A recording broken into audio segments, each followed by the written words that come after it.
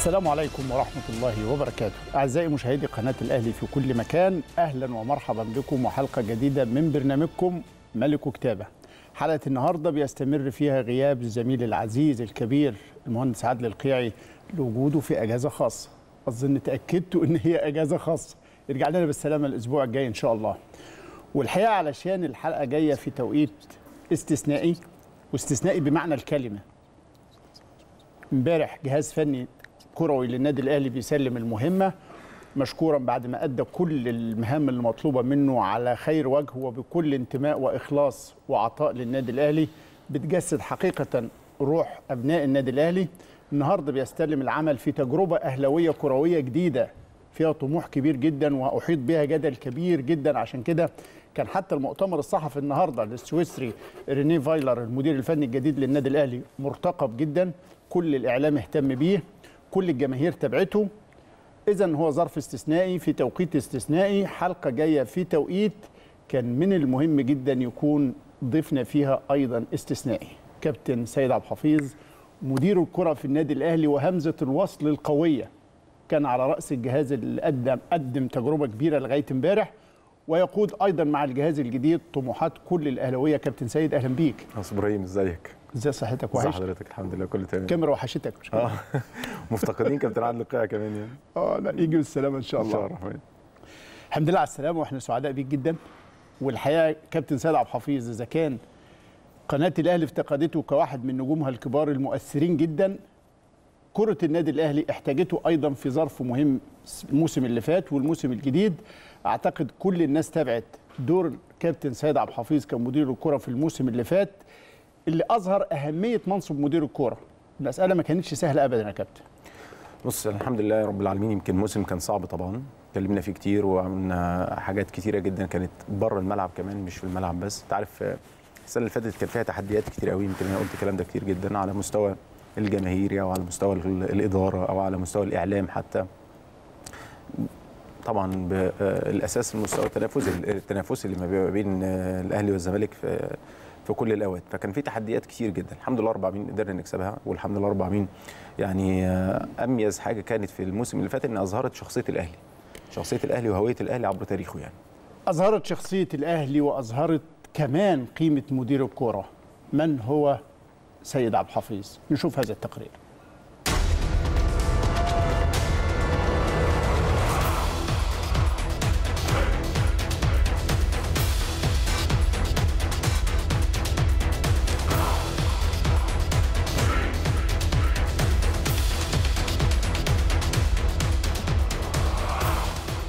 حينما يكون الحديث عن النجاح مع التميز لابد أن تستدعيه الذاكرة.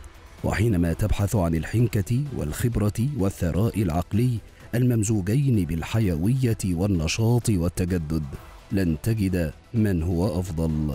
إنه سيد عبد الحفيظ نجم الملاعب والإعلام والإدارة.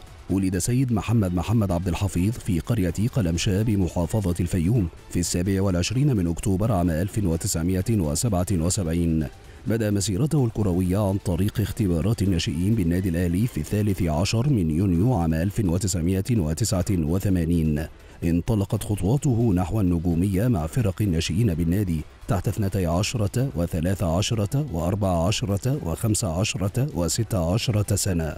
حتى كانت محطته الأخيرة مع الناشئين تحت 17 سنة ليبدأ رحلة اللاعب مع الكبار مبكرا في موسم 96 97 شارك فيجو الشهير بسيد عبد الحفيظ مع الفريق الأول بالأهلي في 220 مباراة رسمية. حقق مع الفريق 14 بطولة في تسعة مواسم. على المستوى الفردي حصل الكابتن عبد الحفيظ على عدة ألقاب وهي أحسن ناشئ في مصر موسم 96 97 أحسن لاعب في مصر موسم 97 98 ثاني أحسن لاعب في مصر موسم 98 99 أحسن لاعب في البطولة العربية للمنتخبات الأولمبية. صاحب ثاني أفضل هدف في بطولة دوري الأبطال الإفريقي 2001 في مرمى الترجي التونسي لبطولة إفريقيا عام 2001 مسيرة عبد الحفيظ مع المنتخبات لم تكن أقل زخما عنها مع الأهلي حيث بدأ مع منتخب 16 سنة ثم شارك مع منتخبي الشباب والأولمبي في 68 مباراة سجل خلالها 18 هدف. بالإضافة إلى مشاركته مع المنتخب الأول في 28 مباراة سجل خلالها ستة أهداف.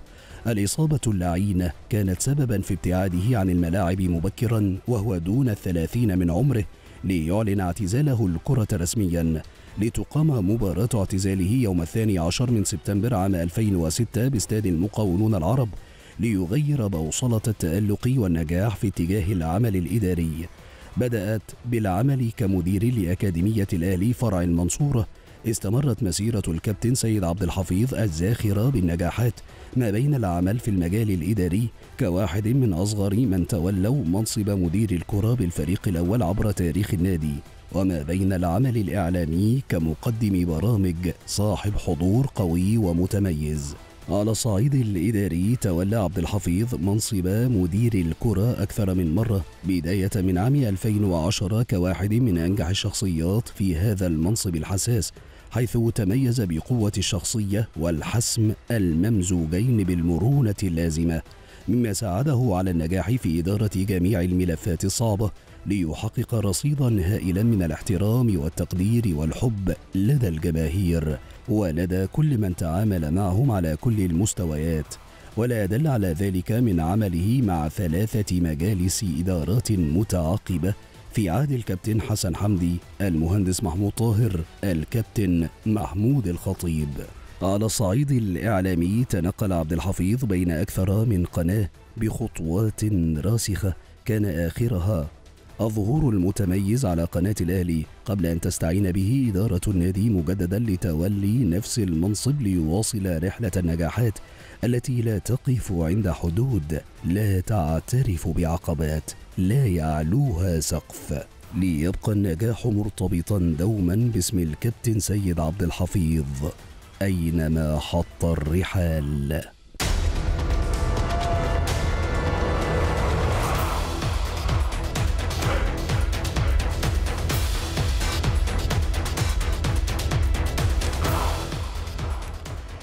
أينما حط الرحال؟ والرحال النهارده حط في قاعة مجلس إدارة النادي الأهلي أو في قاعة المؤتمر الصحفي للنادي الأهلي. كان جلوس الكابتن سيد عبد الحفيظ وهو بيتسلم مهام عمل تجربة جديدة بيقدم لجماهير النادي الأهلي وجماهير كل الرياضة المصرية الحقيقة الجهاز الفني السويسري الجديد بقيادة رينيه فايلر. لو جبنا من الآخر أنت على مدار فترة طويلة في إدارة الكورة في النادي وهو منصب مهم طبعا اشتغلت مع عدد كبير من المدربين الأجانب والمصريين. خلينا نطمن الناس على الانطباعات الأولى النهاردة إيه؟ يعني طبعا انطباعات جيدة جدا الحمد لله. يمكن بدأت بالمؤتمر الصحفي كان أول لقاء لينا مع الراجل والجهازه يعني يمكن أنا شايف إن في آه، استعداد كويس قوي في تحضير كويس قوي رغم إن المسافة الزمنية كانت قليلة شوية ما بين آه، آه، التعاقد والقدوم إلى مصر لكن عنده خلفية كبيرة بعدد كبير جدا من اللعيبة. أنا مؤمن دايما بقناعات آه، مهمة جدا. أهم حاجة في أي عمل ناجح هو الشخصية نفسها. الاستعداد ليها القوة الحكمة ما بين ما بين القوة وال آه، آه، والتعامل بشكل معين في وقت آه، من أوقات ال- آه، الشغل يعني. الحكمة اينما وجدت. في وقت بتبقى لين ووقت بتبقى آه، قوي. بس ما تحطش ده في وقت ده ولا ده في وقت ده عشان ما يبقاش ال- الحسابات مختلفة يعني. إن شاء الله الرحمن أنا متأكد من نظام الأهلي وسيستم الأهلي وتقاليد الأهلي وأسلوب الأهلي ومعرفة الأهلي بكل الأدوار اللي في المنظومة. من من مدير فني من جهاز مساعد من جهاز آه، إداري. لكن قبل ما أبدأ أي حاجة خاصة بال- بالبكرة لازم اشكر امبارح. صحيح. كل الناس اللي, اللي ساعدت وساهمت في فوز الأهلي وتتويج الأهلي بأصعب بطولة في تاريخ الأهلي اللي هي صحيح. بطولة السنة اللي فاتت. لازم واجب الشكر واجب الشكر للجهاز القديم كله سواء الأجنبي أو آه، المصري. واجب الشكر على آه، صفاتهم وأخلاقهم قبل ما يكون حتى آه، مجهودهم وعطائهم. يعني أنت بتتكلم على ناس بيتم تبليغها قبلها ب 48 ساعة إن هم مش موجودين. ومع ذلك بيجوا التمرين. كابتن محمد يوسف كابتن طارق سليمان كابتن حسين عبد الدايم بيجوا التمرين بمنتهى الجدية والالتزام والانضباط والتركيز. بيأدوا وهم عارفين كويس قوي إن هم خلال 48 ساعة مش موجودين يعني. لكن هو ده الأهلي يعني. لغاية تمرينه امبارح محمد يوسف وطارق سليمان بيأدوا تمرينهم مش عايزين ننسى وحسين. عبد الدايم بيأدوا أدائهم بكل إخلاص وبكل رغبة حتى في تجهيز الفريق لغاية آخر لحظة. طبعا أنت اولا يعني الأهلي مدرسة منفردة. آه. بتضايق ناس بتزعل ناس بت... ناس ب... ب... بتبقى آه، بتعجبها. لكن في النهاية هي مدرسة منفردة يعني. آه. طيب ده اللي حصل النهارده وكل الناس تابعته وكل الناس شافته. وهنقف عنده كتير؟ لأنه الحقيقة المؤتمر الصحفي فيه محطات كتيرة لازم نقف عندها مع كابتن سيد. لكن ما بعد المؤتمر الصحفي؟ المؤتمر الصحفي خلص كابتن سيد كان مدير كورة عقد اجتماع مع آه، الجهاز الفني الجديد بقيادة رينيه فايلر. أعتقد آه، دي كانت الجلسة الأولى ليك معاه. مظبوط صح. إيه؟ زي ما قلت لك الراجل حريص جدا إن هو يكون آه، عن- عنده كل معلومه صغيره وكبيره وده انطباع عجبني. الحاجة الثانية إحنا كمان يعني الشغل الإداري هو إن أنت بتوجد أجواء مناخية أو آه، صالحة للجهاز الفني واللاعبين. بتحاول تشيل كل العقبات كان له. مطالب غير طبيعية ولا الأمور لا عادية؟ لا في المعتاد في المعتاد يعني. في المعتاد. في المعتاد طبعا يعني. لكن في النهاية أنت لسه بتتكلم على أول يوم آه. تمام؟ برضو أنا مقتنع إن أنت عندك شغل كتير جدا بتعمله. كل واحد في الدور بتاعه ممكن اساعدك يعني في دورك أساعدك باستشارة برايي بوجهة نظر لكن في النهاية أنت اللي بتاخد القرار. أنت آه، اللي آه، بتقود. كل واحد في الدور بتاعه كل واحد في الاختصاص بتاعه ودي أهم حاجة. وأنا من آه، يعني من أنصار دايما الوضوح. أي عمل أو أي شغل دايما مع أي حد بيب- بيبقى فيه حاجة واضحة. آه. تمام؟ أنا بقول لك بعرض عليك يا أستاذ إبراهيم إن أنت هتشتغل معايا بس الدور بتاعك واحد اتنين تلاتة. أربعة ما تفكرش فيه. لأن أربعة لو أنت تعديته أو تجاوزته يبقى العيب فيك بقى. أنت ما فهمتنيش كويس. تمام؟ فلازم يبقى فيه مواجهة. آه. لازم يبقى فيه آه، صراحة ولازم يبقى فيه ولا مش هيبقى فيه نجاح. خطوط واضحة قوي. واضحة. واضحة آه. وصريحة. آه. أنت قابلت من الأول التزم. قابلت من الأول التزم. لقيت عند الراجل هذا الوضوح؟ الراجل هو اللي بيقود المنظومة بيقود اللعيبة. يعني في إدارة كمان في الأمور الفنية خلي بالك. آه. إدارة فريق إدارة لعيبة إدارة جهاز. أها. يعني آه واجبات يعني بيستعين بها بالجهاز اللي معاه. كل دي إدارة إدارة منظومة وفريق يعني. طيب إن إحنا نقدر يعني عندك مباراة مع كانو سبورت بطل غينيا الاستوائية في بداية بطولة أو في دور ال 32 لبطوله كلنا بنأمل فيها كتير إنه الجهاز الجديد يتولى المهمة قبلها ب... أنت هتسافر كمان يوم 10 مش كده؟ مظبوط أنا يعني- سيد ولا الفرقة الفريق. هتسافر يوم آه، ليلة 11 وأنت هنكون قبلها؟ آه وأنا هناك كان آه. عندي آه، اتصال النهارده مع سياده السفير حاتم حسون اللي هو آه، سافرنا سفير. هناك يعني. آه. وأنا ان شاء الله الرحمن أنا وكابتن سمير عدلي هنسافر يوم 9 آه. نكون هناك يوم 9 والفرقه هتبقى موجودة يوم 11 بإذن الله. تعرف الراجل على اللعيبة. سبقوا طبعا تقرير فني كبير من الكابتن محمد يوسف للجهاز. إحنا كلنا زي ما قلت لك يعني انت في الأول والآخر بتحاول تدي للراجل كل المعلومات آه. تمام؟ لكن ال- التواجد والقيادة الفنية وكل حاجة خاصة بالأمور الفنية بتاعته يعني. تعرفه على اللعيبة. يتوقع إنه ياخد وقت على ما يقدر يعرف النواحي الفنية الكاملة لكل لاعب ولا بص أنت في عصر بقى في حاجات كتير بت- بتسهل بتسهل عليك آه. آه. عكس زمان يعني طبعاً. شوية. يعني النهارده من قبل ما هو يجي أساسا عارف أسماء لعيبة عارف أسماء. عارفهم. طبعا عارف آه. واتفرج على مباريات يعني اتفرج على الزمالك واتفرج على المقاولين واتفرج على بيراميدز واتفرج على آخر الحاله آخر واتفرج على الماتش الأخير اتفرج على ثلاث أربع مباريات فعارف بعض الأسماء وعارف إمكانيات تمام عرفت إنه شاف فاينل أفريقيا في المرتين الأخيرتين ده صحيح؟ طبعا أنا بقول لك هو بيتكلم معانا النهارده إنه عارف أسماء كتيرة وعارف الشخصيات وعارف أرقام آه، تيشيرتاتهم يعني عارف أسمائهم بشكل آه. كويس آه. لكن الحياة كده بتقول لك إن التجربة بالعين أكتر كتير جدا من اللي أنت بتشوفه يعني أو بتسمعه على التلفزيونات يعني في في أنصار آه، مديرين فنيين يقول لك لا أنا أروح أتفرج من الملعب. مع إنه ممكن يتفرج على التلفزيون بس آه. هو يعني كده هيشوفه كده هيشوف بس الرؤية بتبقى أو... آه، أوسع أشمل. أس- أشمل طبعاً. وأوسع آه. فخلال التواجد والانطباعات في فروق شخصية خلي بالك مم. يعني دايما إحنا بنتكلم على شخصية الأهلي لأن في ناس ممكن تبهرك تمام ممكن أنا بتكلم كلعيبة بس دي فقرة يعني ممكن لعيب يبقى فقرة فقرة خمس دقائق 10 دقائق صحيح. إحنا مش أنصار ده صحيح. إحنا مش فرقتنا الأهلي كده طول حياتنا على فكرة يعني آه. إحنا مش أنصار الفرق اللي هي تعمل فقرة يعني خمس دقائق 10 دقائق والناس تبدأ تتجنن وجايب لك لعيب من من زحل فاهم؟ لا إحنا أنت مش بتاع نوفمبر ويناير أنت بتاع الصيف. أيوه صح. أنا بتاع شهر 8 أنا بتاع شهر 8 أنت بتاع 8 طيب النهارده كمان الشيخ طه إسماعيل ربنا يديله الصحة والعافية واحد من رموز الكرة الأهلاوية الكبار التقال الحقيقة لأنه وجوده على المنصة ووجوده على رأس لجنة التخطيط والمتابعة لمستقبل كرة القدم في النادي حاجة مطمئنة للجمهور جدا. لجنة لما يكون كابتن محمود الخطيب بكل قيمته الكروية الفذة الكبيرة جدا في تاريخ الكرة المصرية والأهلاوية. شيخ طه إسماعيل بكل هذا الثراء في آه، حجم الخبرات الكبيرة جدا. كابتن زكريا ناصف الكابتن خالد بيبو. لجنة تقيلة جدا لما تخطط لهذه التجربة ولما تقدم على اختيار هذا المدير الفني أعتقد كان عندها رؤية وكان عندها حاجة مختلفة مش عند الناس. الناس مشيت ورا السي في الناس اجتهدت الإعلاميين كل شوية راحت في سكة ده أجزم ده حلف ده أكد. ولما لقوا حد تاني غير اللي اتقال كانت الصدمة المهنية واضحة جدا في بعض البرامج وفي كتير من المواقع والجرايد. لكن الحقيقة النهارده الدكتور طه إسماعيل وهو بيترأس هذا المؤتمر وبيقدم الخواجة قال عن فلسفة الاختيار وظروفه. نشوف طبعا حضراتكم كلكم عايزين تعرفوا إحنا ليه اخترنا المدرب اللي موجود الآن اللي هو ريني فايلر.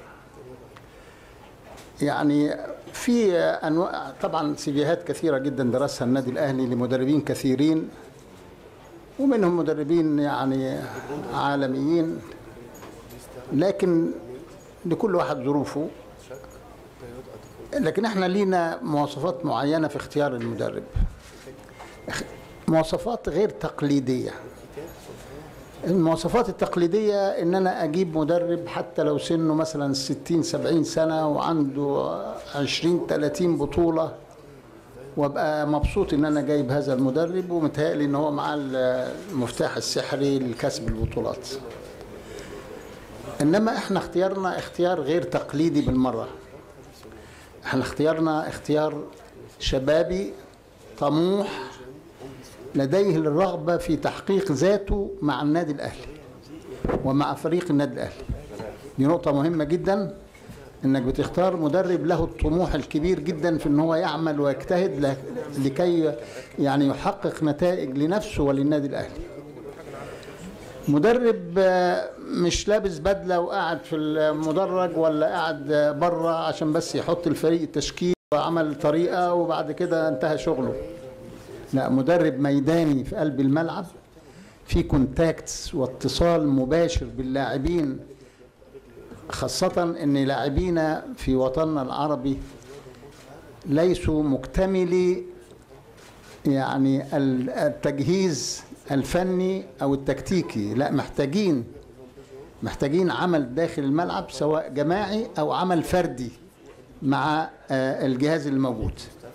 عشان كده مهم جدا إن يبقى عندك مدرب عنده طبعا له خبرات وله نجاحات في اتكلمنا في سويسرا وفي بلجيكا وحقق. طبعا كلكم قريتوا الحاجات ديت وقريتوها. لكن في كثيرين كله منصب على إنه هو عايز يبقى عنده هالة كبيرة جدا للمدرب اللي بيجيبه. أعتقد دي نظرة مختلفة جدا عندنا. إحنا عايزين مدرب في الملعب يشتغل مع اللاعبين. اللاعبين عندنا في العالم العربي لهم نواقص وفي مصر. وإحنا دي حصلت معانا مع أجهزة فنية سابقة كانت بتشتغل معانا في فلان عنده نقص في كذا فلان عنده نقص في تدريبات فردية مع الجهاز يشتغلها في أوقات أخرى أو في نفس وحدات التدريب. لكن حاطط إيده في كل صغيرة وكبيرة. ودي نقطة مهمة جدا آه لتحقيق الاكتمال الإعداد سواء الإعداد البدني أو الفني أو الذهني للاعبين.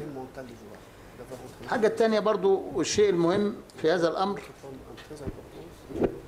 إنه هذا الجهاز له نظرة وكونتاكتس مع قطاع الناشئين. يعني هيبقى له يعني ملاحظات ومتابعات لقطاع الناشئين وابداء ملاحظات لكيف يتم إعداد اللاعبين خاصة اللعيبه اللعيبة البروميسنج اللي على وشك إن هم يلعبوا في الفريق الأول.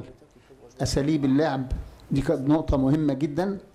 ودي أول مرة بتحصل في مصر إن يبقى في جهاز فني بيشتغل مع الفريق الأول لكن أيضا عينه طبعا مع مع مساعديه على قطاع الناشئين لأنه يبقى في هنا وحدة عمل. وفي تواصل بين العمل اللي بيتم في قطاع الناشئين مع الفريق الأول ودي نقطة مهمة جدا يمكن أول مرة آه، حد بيعملها لأن دايما كل المدربين الأجانب اللي يجوا كل همه إن هو يشتغل مع الفريق الأول وخلاص ملوش دعوة بأي حاجة بعد كده. إنما الجهاز عنده التزامات هتخلي أثر عمله هيبقى متواجد حتى لو خلص ومشي بعد سنة بعد اتنين بعد عشرة هيكون له بصمات موجودة مع الأجيال اللي هي طالعة. ودي برضو نقطة من النقط المهمة جدا. آه، أنا مش عايز أتكلم كتير في موضوع الجهاز الفني لكن ده اقتناعنا. ودي مسؤوليتنا يعني لجنة تخطيط مع رئيس النادي اختارت هذا المدرب وإحنا بنتحمل هذه المسؤولية. ما بنتنصلش منها. إحنا اخترنا هذا المدرب بناء على رؤيتنا بناء على الأهداف اللي إحنا حاطينها وإحنا بنتحمل المسؤولية. أنا أعتقد ده كلام كان واضح جدا. وكمان بيعكس فلسفة المرحلة لأنه هو هو أي فريق لما بيختار مدرب في توقيت معين بيختاروا الفكرة معينة لهدف معين مش بالضرورة أنا بشيل خواجة فبجيب خواجة. لا يجوز تجربتي المرة اللي فاتت أو الفترات اللي قبل كده كان عندي أهداف للمرحلة وعندي ظروف لعيبة في هذه المرحلة مختلفة عن المتوفر دلوقتي والتارجت إيه كمان. فعشان كده كابتن سيد كلام الشيخ طه كمان جزئية إحنا ما بنجيبش حد ببدله راجل كبير بخبرات ممكن يكاتشن من بره لا إحنا بنجيب حد يشتغل في الملعب ميدانيا عشان عندنا نواقص كتيرة. مظبوط يمكن في حاجات كتيرة بتبقى بتبقى معايير لاختيارك المدرب كانت مسؤولية في الفترة اللي فاتت ودي الوقت كمان اللي هي في بعد مباراة بيراميدز يعني كانت لجنة التخطيط وكابتن محمود الخطيب ومسؤول التعاقدات وكل الناس كانت بتشتغل بشكل مكثف جدا جدا. لكن في مراحل في الحياة بتختار فيها مدرب يناسب المرحلة ديت. ان شاء الله الرحمن اللي أنا متأكد منه إن إحنا هننجح بشكل كويس قوي. المردود اللي شفته في البداية في آه الحمد لله مطمني لحد كبير جدا. ان شاء الله الرحمن زي ما أنا قلت لك مع نظام الأهلي وسياسة الأهلي والتعاون المشترك ما بيننا ككل يعني وفكر الرجل وطموحه إن شاء الله الرحمن ننجح بشكل كويس بإذن الله. طيب الأهلي بيتعاقد مع مدرب وكل نادي بيتعاقد مع مدرب. فكرة إن أنا أشغل بالي بتعاقدات المدربين التانيين ليه؟ إيه الفكرة؟ إيه الفكرة إن أنا في نادي تعاقد مع مدرب أنا كنت راغب فيه عندي تجارب سابقة عنده عندي ممكن حاجة ما تساعدنيش على إن أنا أجيب مواطن أو أجيب مدرب من هذه الدولة. دي مسائل كلها المفترض ما تشغلش حد. نتمنى إنه في هذه المرحلة كل نادي يركز في اختياراته كل نادي يركز في تجربته كل نادي يركز في العناصر اللي عنده. إحنا مفتقدين هذه الإيجابية يا كابتن وكله باصص لغيره. ليه؟ تعرف الصوت لما ما بيطلعش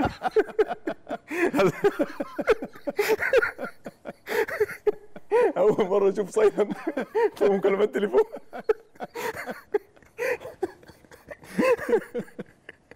بص أنا عايز أقول لك على حاجة كويسة قوي عارف والله العظيم ثلاثة يعني الواحد دايما بيحترم الناس جدا جدا. بس صحيح. في وقت من الأوقات كده تقول يعني يعني ما هو أنت يا دمك خفيف يا ظريف يا بتستظرف يا أنت مش عارف حاجة خالص. يعني في واحد امبارح واحد بيقول لك إيه؟ أتمنى الاهلي يرجع لسابق مستواه. انت عارف المسرحيه بتاعت إيه؟ شيلوه من فوق لا يموت شيلوه من فوق لا موته يرجع لسابق يعني مستواه. مش فاهم يعني يعني والله العظيم ثلاث ساعات بتقول إيه؟ تاني. لا سيبك من تاني وثالث ورابع أصل مش هتتغير يعني. هي المعامله العقلية آه. مش هتتغير فاهم؟ آه. انت في وادي والع... ده عالم افتراضي.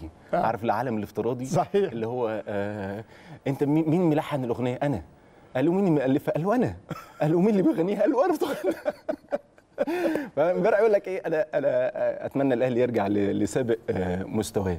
فالمسرحية بالظبط كده اللي هو يعني شيلوه من فوق لا موته يعني آه. أنت طول العمر بتتعامل باحترام شديد جدا ومفيش أي مشكلة خالص ما بينك وبين منافسينك اطلاقا. بس غير كل الاحترام. كل الاحترام والتقدير. صحيح. حد عايز يعني يغير سنة الكون آه. يغير سنة الحياة. آه. سنة الحياة بتقول إن أنا بكسبك على طول بس ممكن في لحظة تكسبني. دي سنة الحياة بالنسبة لنا. صحيح. سنة الحياة بالنسبة لك إن أنا بتغلب لك على طول بس ممكن أكسبك. تمام؟ آه. وفي احترام وود وتقارب بشكل كويس قوي. أنت عايز تغير الموضوع ده خالص؟ خلاص تعالى. مفيش مشكلة. بتخ... يعني بتتخيل ساعات إن هي ب- بندية وعصبية و... ونوع من القوة؟ لا ده مش قوة خالص. مع الأهلي سياستنا معروفة جدا. تمام؟ اضرب الكبير يخاف الكبير. آه والله. صحيح. دي سياسة الأهلي. صحيح. يعني هتضرب الكبير هيخاف الكبير. صحيح. تمام؟ سياسة تانية بقى اضرب الصغير برضه هيضربك الكبير. هيضربك الكبير. عارف أنا قلب معايا الأفلام النهارده عارف؟ تيجي بقى كده كده كده هي كده. اللي عايز أقوله بس باختصار شديد يعني ما فيش حاجة هتتغير خالص. جمهور الأهلي ومكانه الأهلي وإدارة الأهلي وكيان الأهلي والجهاز الفني للنادي الأهلي المفروض إن إحنا بنشتغل في دايرة واحدة. حتى لما بيكون في تغيرات أو في يعني آه، نوع من المواقف ولا حاجة بنتعامل معاها بمنتهى الشجاعة خالص يعني. وعندنا ما يغنينا أو ما يكفينا من آه، تاريخ مشرف جدا جدا جدا جدا بنشتغل بمجهود ربنا سبحانه وتعالى بيوفق خلاص. ربنا سبحانه وتعالى ما بيوفقش. خلاص برضو دي لغة رقمية. اللغة الرقمية يعني أنت نجحت في بعض الملفات اللي أنت وكلت بيها فخلاص دي حاجة كويسة جدا. ما حد ما نجحتش وجا غيرك خلاص يعني ما فيش ثابت البطل الله يرحمه كان ثابت البطل الله يرحمه كان يقول لك دايما إيه يعني لو دامت لغيرك مش هتوصل لك طبعا فدي الحياة وما تعرفش الخير فين صحيح. يعني ممكن اللي انت شايفه مكمن الخير بالنسبة لك ما يبقاش خير صحيح. والعكس صحيح يعني صحيح. لكن إحنا بنخش على منافسات في بداية موسم بتستعد لها كويس قوي بتشتغل كويس قوي بتحاول تجيب نقاط كويسة جدا تناسب المرحلة مش فراشه. عارف الفراشه؟ بتاعت كل بتاعت كل سنة 17 18 لعيب ومجدي الكدواني في الفرح فاهم؟ رصة الموسم. فراشه فراشه. في أزمة في الفراشات في شهر 7 و8 صباح الخير. طيب اسأل سيد عبد الحفيظ. ده سؤال ليكو كل اللي عايز يسأل الكابتن سيد عبد الحفيظ عن أي حاجة عن ترتيبات الفريق للموسم الجديد عن أوضاع الأهلي في الموسم الجديد. عن الكابتن سيد عبد الحفيظ نفسه على صفحة البرنامج أو صفحة القناة على الفيسبوك.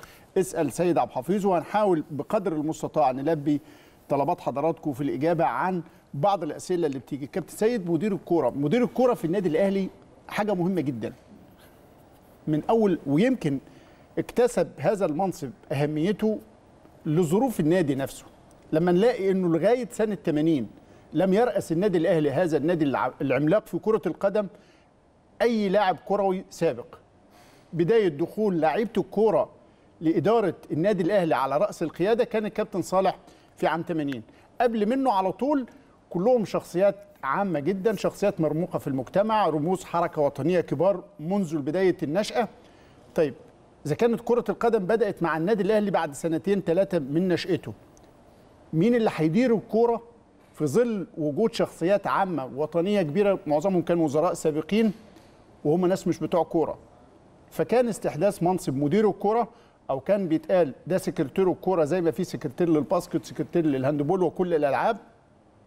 وده النادي بيعتبره رئيس كرة القدم في النادي الأهلي. المسألة تكررت في رموز كتيرة جدا في كرة القدم في النادي الأهلي. طبعا الرمز الأنصع والأكبر في تاريخ النادي الأهلي كرويا الكابتن محمود مختار التتش التتش رمز كبير جدا لإدارة الكرة في النادي الأهلي كابتن علي زيور ثم كابتن صالح سليم ثم الكابتن حسن حمدي ثم آه، آه، نجوم كتير جدا في مراحل مختلفة عشان ما ننساش حد. فاكتسب هذا المنصب أهميته لطبيعة الهيكل الإداري بتاع النادي. كابتن سيد عبد الحفيظ وأنت بتدير الكوره من هذا المقعد المهم تعاملت مع عدد كبير من المدربين الأجانب. والنهاردة بدأت تجربة جديدة. كلمنا عن تجاربك. انت إيه سبع ثمان مدربين مش كده؟ ما بين مصري مصريين وأجانب؟ آه. آه الأجانب حوالي خمسة. كان مستر آه، مانويل جوزيه. آه. وأعتقد إن أنا استفدت منه جدا جدا في بداية إحنا هنقف المشوار. عند مانويل طبعا لأنه انت كمان كان لا كنت لاعب معاه. مظبوط. آه. آه. وكان عندي كمان آه، آه، باسيرو. آه. وكان في مارتينيول وكان في آه، لاسارتي. وأخيرا يعني آه، نيفل ريني فايلر بدايتك مانويل جوزيه مانويل جوزيه انت لاعب معاه في 2001 وإحنا راجعين من كأس العالم في اليابان. آه فاكر انت؟ على الطيارة وأخدت القرار. أو فكرت فيه بمعنى أصح. فكرت فيه. أنا أنا في بعض الأوقات ما ينفعش تضحك على نفسك. آه. في أوقات تحمس نفسك وتدي أمل لنفسك مع صعوبته. تمام؟ لكن في وقت من الأوقات لازم تكون صريح جدا مع نفسك يعني. أنا كان عندي آه، إصابة شديدة قوي وكانت معطلاني كتير جدا. وكان إحساسي بنفسي وذاتي مش مش أنت يعني أدائك مش هو ال- ال- المعتاد يعني. ف وصلت كان تقريبا كنت 28 سنة. آه. قرار مش مش سهل يعني صعب طبعا وكل حاجة لكن كان لازم يتاخد يعني. فأخدت القرار. الغريب إن أنا ما كنتش على فكرة حاطط في دماغي ابدا الحتة الإدارية اطلاقا خالص يعني ولا حتى التواجد في حتة الكورة عامة يعني. أنا كنت حاسس إن أنا ممكن أبعد شوية يعني وساعات بميل لكده على فكرة. آه. في أوقات مهم إن أنت تبعد شوية يعني ما تبقاش موجود في في المنظومة بشكل يعني يعني تاخد يعني آه، راحة أكتر ممكن تبقى أيام شهور بس ده بتبقى مطلوبة يعني. تمام؟ كنت حاسس إن أنا ممكن أعمل حاجة خاصة ليا يعني وأبعد عن المجال لحد ما في يوم آه، كابتن محمد رمضان ودي برضو من حظوظي كويسة إن أنا بدأت معاه كشغل يعني فكر آه. إداري على على هايل. على مستوى آه، بدأت معاه في في المنصورة. كنت ماسك الأكاديمية. الأكاديمية. آه. آه، وربنا يعني اداني هدية إن أنا اشتغلت مع الصف كان رائع جدا جدا في المنصورة. آه. عملنا شغل كويس اشتغلنا بالاخص بشكل كويس قوي. وبعد كده آه، تم اختياري كمنسق للجنة الكورة في وجود عمالقة الإدارة الرياضية كابتن حسن حمدي وكابتن طارق سليم الله يرحمه وكابتن محمود الخطيب. ودي كانت آه، يعني سنة وشهر تقريبا يعني من آه، من 10 آه، 2009 لحد آه، نوفمبر 2010 كانت سنة وشهر تقريبا يعني. آه، أعتقد إنها اقتصرت من حياتي حوالي بتاع 20 سنة ولا حاجة يعني. آه. إزاي تدير أزمة؟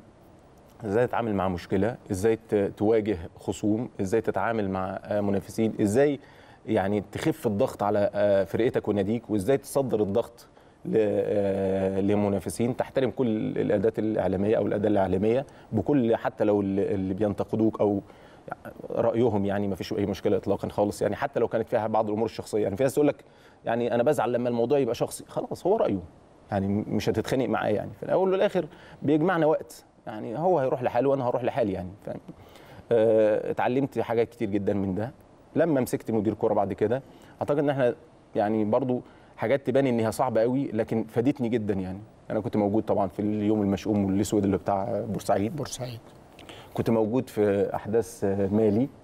آه. تواجد في مالي. كنت موجود في أحداث كتيرة خاصة في آه، في أوقات كانت صعبة على على البلد بشكل كبير جدا. في فترة زمنية يعني أنت كلنا عارفينها أكيد. آه، إدتني خبرات كبيرة جدا. كنت موجود مع مجموعة من اللعيبة ساعدتني جدا.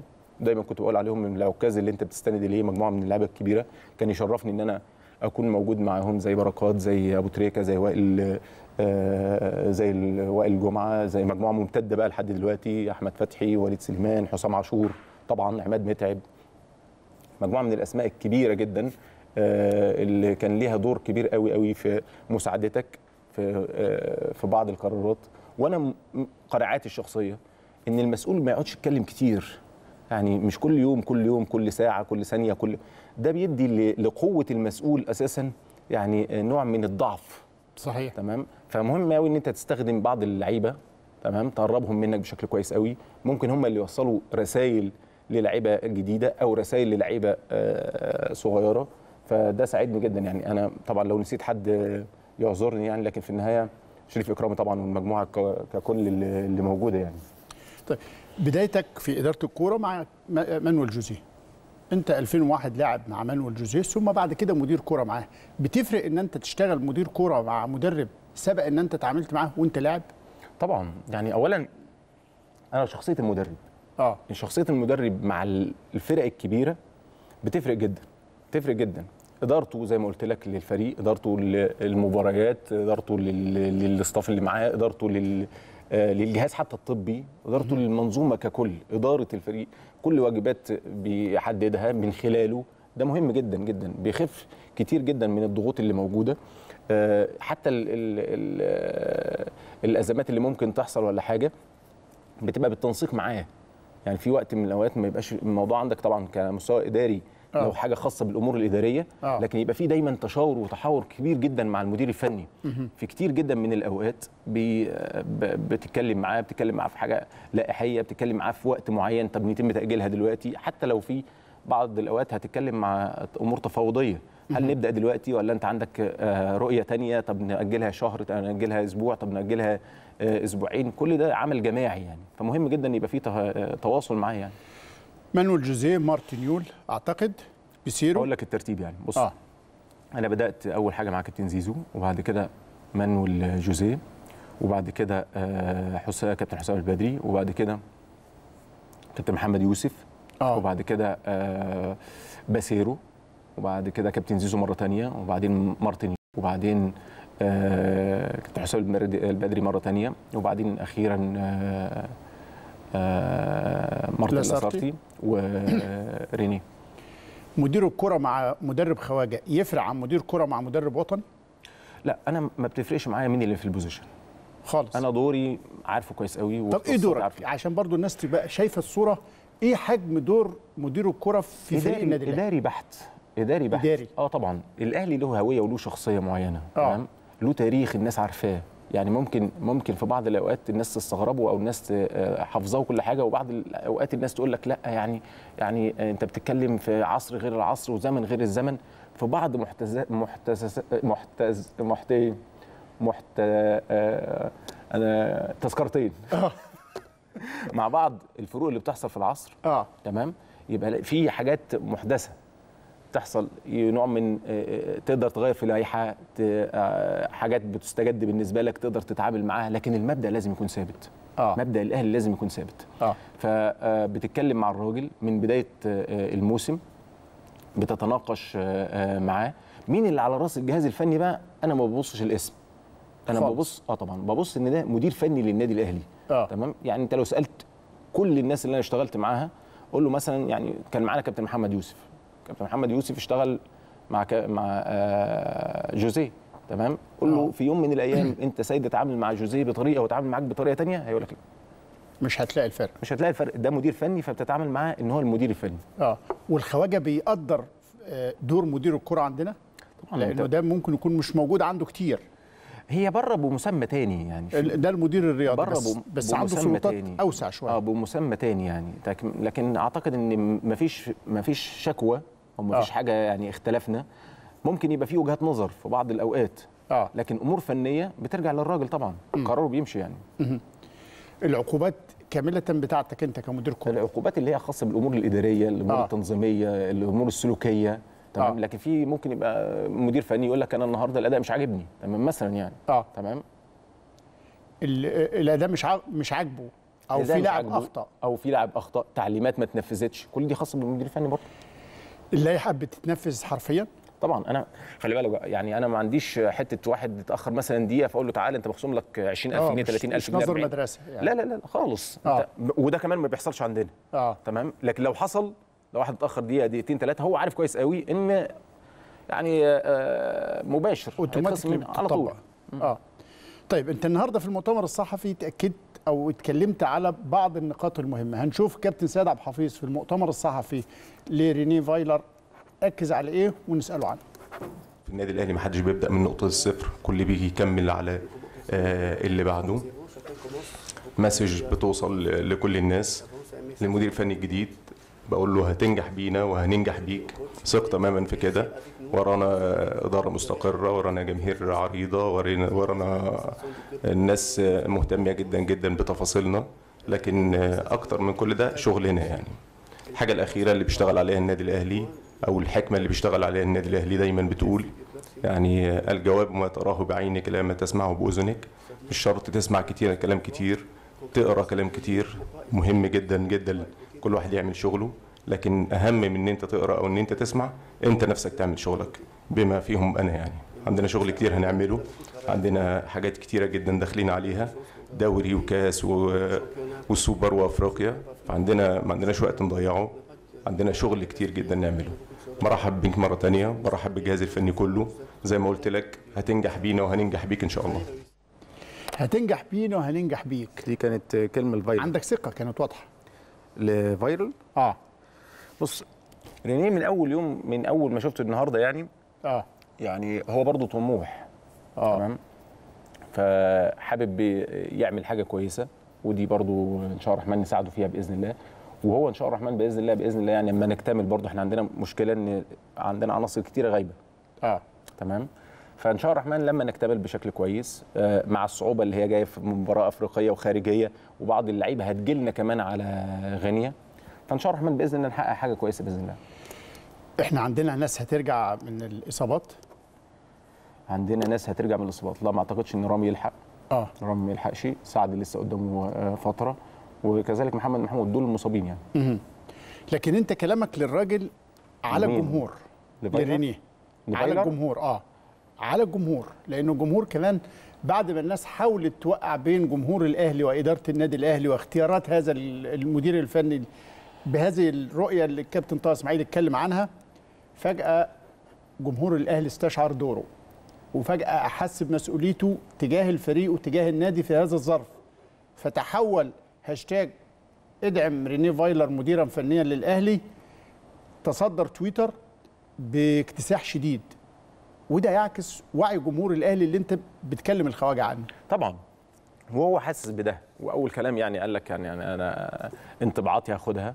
وهو راجل واقعي يعني في كلامه حتى في المؤتمر تصريحاته في المؤتمر عجباني جدا. آه. ف آه، ففايلر بإذن الله يكون له نجاح كبير مع النادي الأهلي. جمهور النادي الأهلي مع أول دقيقة خلي بالك آه. المباراة اللي جاية آه. هتبص تلاقي حاجة أنا واثق من ده تماما يعني. مع الفرقة ومع آه آه الفوز بتحقق بإذن الله زي ما قلت لك. التحديات صعبة بغض النظر عن أي شيء. الراجل إن شاء الله الرحمن يكون له نصيب كبير جدا من النجاح بإذن الله. تمام؟ لكن عندنا تحديات صعبة. التحديات الصعبة دي هتبدأ من يوم 14 فكرة إن هو يتولى المسؤولية قبل 10 أيام أو قبل أسبوع واحد من السفر فيها مغامرة أخرى؟ لا مش مغامرة ولا حاجة. الدنيا كلها بقت كده. آه. يعني في الدنيا كلها كده. يعني سياسة زمان إن أنت مثلا يعني في مساحة من الوقت ما بقتش موجودة. آه. يعني انت زمان أيام ما كان لما الدوري بيخلص في شهر خمسة فاكر انت الأيام دي؟ وتريح براحتك آه الدوري بيخلص في سبعة وثمانية يعني. آه. طيب ال- ال- ال- الراجل مدرك طبيعة نظام الكره في مصر والمشاكل اللي بتحصل في التنظيم ولا ما تكلمش معاك فيها؟ بص نظام الكورة في العالم آه. المفروض يبقى واحد. نظام الكورة في العالم واحد. لكنه الجداول وعدم اختلافات. شوية في الأجواء والمناخ وطبيعة الإنسان وثقافة ال- المجت... المجتمع اللي انت فيه وطبيعة اللاعب اللي انت بتمرنه. ممكن دي تاخد وقت سنه آه. تمام؟ لكن أنا متأكد إن شاء الله الرحمن مع الأهلي وفكره والموروثه عنده تمام؟ الأدوار اللي أنا آه، أشرت إليها هتختصر كتير جدا جدا من الوقت. في لعيبة بعينهم معلقين مع الراجل؟ أنا اتكلمت بقى النهارده فعارف لعيبة كتيرة تمام؟ يعني مش عايز أقول أسماء طبعا لكن هو في الأول والآخر في لعيبة كتيرة أتكلم معايا فيها النهارده أو أتكلم على جزء آه، منهم. وزي ما قلت لك هو الثلاث أيام اللي فاتوا اتفرج على ماتشات اتفرج على المقاولين اتفرج على الزمالك اتفرج على ماتش أفريقيا ال- الأخير اتفرج على بيراميدز والزمالك قلته. فوضع طبيعي انه يكون كون بعض الأفكار أو الحاجات البدائية يعني أو ال- آه، يعني. الشيخ طه النهارده قال إن إحنا جايبين واحد حي يعني هيشتغل ميداني كتير هيشتغل بإيده كتير. هل ده كان واضح في في أول تمرين له النهارده؟ بص أنا زي ما قلت لك آه. الأهلي بمنظومته وسياسته ما عندناش حد يعني ما, نجحش كله نجح آه. يعني ما أعتقدش إن ما فيش بنسب بنسب آه. بنسب آه صح برافو عليك يعني بنسب آه. تمام فان شاء الله الرحمن ككل بالمفهوم بتاعنا آه. إن ده راجل على رأس الجهاز على رأس الجهاز الفني على رأس المنظومة ال- القيادية في النادي الأهلي فالكل على تعاون تام معاه يعني لأول مرة يبقى معاه صف كامل بما فيه مدرب حراس مرمى يعني إذا. كان لأول مرة الأهلي يجيب مدرب من سويسرا تحديدا انما فكرة إنه معاه صف كامل بما فيه مدرب حراس مرمى دي مختلفة شوية جديدة طبعا يعني ما آه. عمرنا ما كان عندنا مدرب حراس مرمى أجنبي آه. تمام لكن في النهاية أنت بتتعامل مع الموقف وفكر الراجل فكر الراجل ورغبة الراجل زي ما قلت لك بتتحقق تمام آه. آه. لأن أنت في الأول والآخر بتحاسبه هو فكل حاجة لازم تبقى من خلاله يعني حتى لو كان عنده رأي أو حتى لو عنده وجهة نظر في بعض آه طارق سليمان أدى دوره على أكمل وجه زي ما قلت لك امبارح آه، كابتن محمد يوسف كابتن طارق سليمان. يعني بلغتهم من أول امبارح. لكن دي آه، الصفات ودي الأخلاق بتاعت آه، النادي الأهلي. نجاحات كانت عظيمة جدا. كابتن طارق سليمان كان معاه يعني كابتن شريف إكرامي وكابتن محمد شناوي في في كأس عالم. كان تحت قيادته في في كأس العالم الأخير. محمد الشناوي كان موجود في كأس الأمم الأفريقية كحارس أساسي ويمكن من أحسن الحراس اللي كانت موجودة إن لم يكن أفضلهم يعني. أها. فطارق أنا بوجه له الشكر وهو محمد يوسف وحسين عبد الدايم بشكل عملي لأن هم اجتهدوا جدا نتائجهم كانت عالية جدا تمام؟ وكمان على المستوى السلوكي لأن زي ما قلت لك أنا بلغتهم أول امبارح وكانوا مصرين إن هم يكونوا موجودين في تمرينة امبارح وتمرينة أول امبارح تمام؟ بنفس الكفاءة ونفس التركيز ونفس الاهتمام يعني. وجمهور الأهلي عليه دور كبير جدا المرحلة الجاية. هل عودة الجمهور للمدرجات تفرق معانا؟ إحنا أكتر فرقة دايما بقول أكتر فرقة تأثرت بعدم وجود الجماهير. آه. في حاجات كتير جدا هتتغير أو في حاجات كتير جدا كانت ممكن تتغير لو الجمهور ده موجود يعني. مم. مش عايز أتكلم في نتائج تمام؟ لأن إحنا عارفين إن إحنا إحنا بنعاني من فترة طويلة جدا جدا من أخطاء آه، تحكيمية آه، صعبة جدا.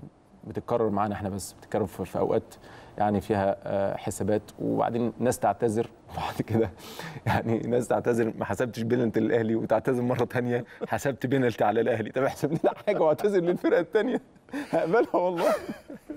ده ملف كمان فيه تفاصيل كتيرة جدا مع الكابتن سيد عبد الحفيظ. لكن على ذكر الجمهور شوفوا وعي الجمهور وارتباطه حتى ببعضه.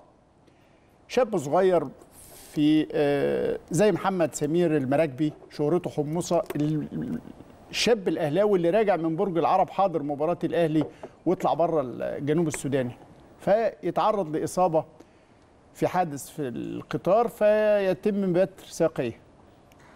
كل الناس وكل الجماهير تعاطفت معاه كل الناس ساندته جدا كل الناس حبت توصل رسالتها لمحمد سمير. لكن كان الطريف وال بيأكد صلة جمهور الأهلي ببعضه يكلمني شاب من هنا يا كابتن من قوس حمدي عبيد دعبس شاب أهلاوي من قوس هنا عايز يعمل رسالة لمحمد سمير الموجود في آه، كفر الدوار بعد هذا الحادث.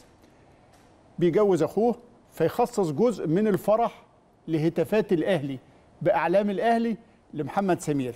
نشوف هذا الفيديو من حمدي عبيد دعبس وبنبارك له وبنبارك للعريس وبنأكد دايما وابدا على عمق علاقة جماهير الأهلي ببعضها هنشوف هذا الفيديو ونطلع لفاصل ومع كابتن سيد عبد الحفيظ بعد الفاصل. كلام مهم. كتف كتفك ومعك في أي مكان بس تنادينا تلاقي الكون مليان. إنت الأمل وإنت الكيان. فين مطروح؟ لو اخر الدنيا وراك نديك بالروح. عشقك في قلبي داوي أي جروح اهتف باسمك مهما كان.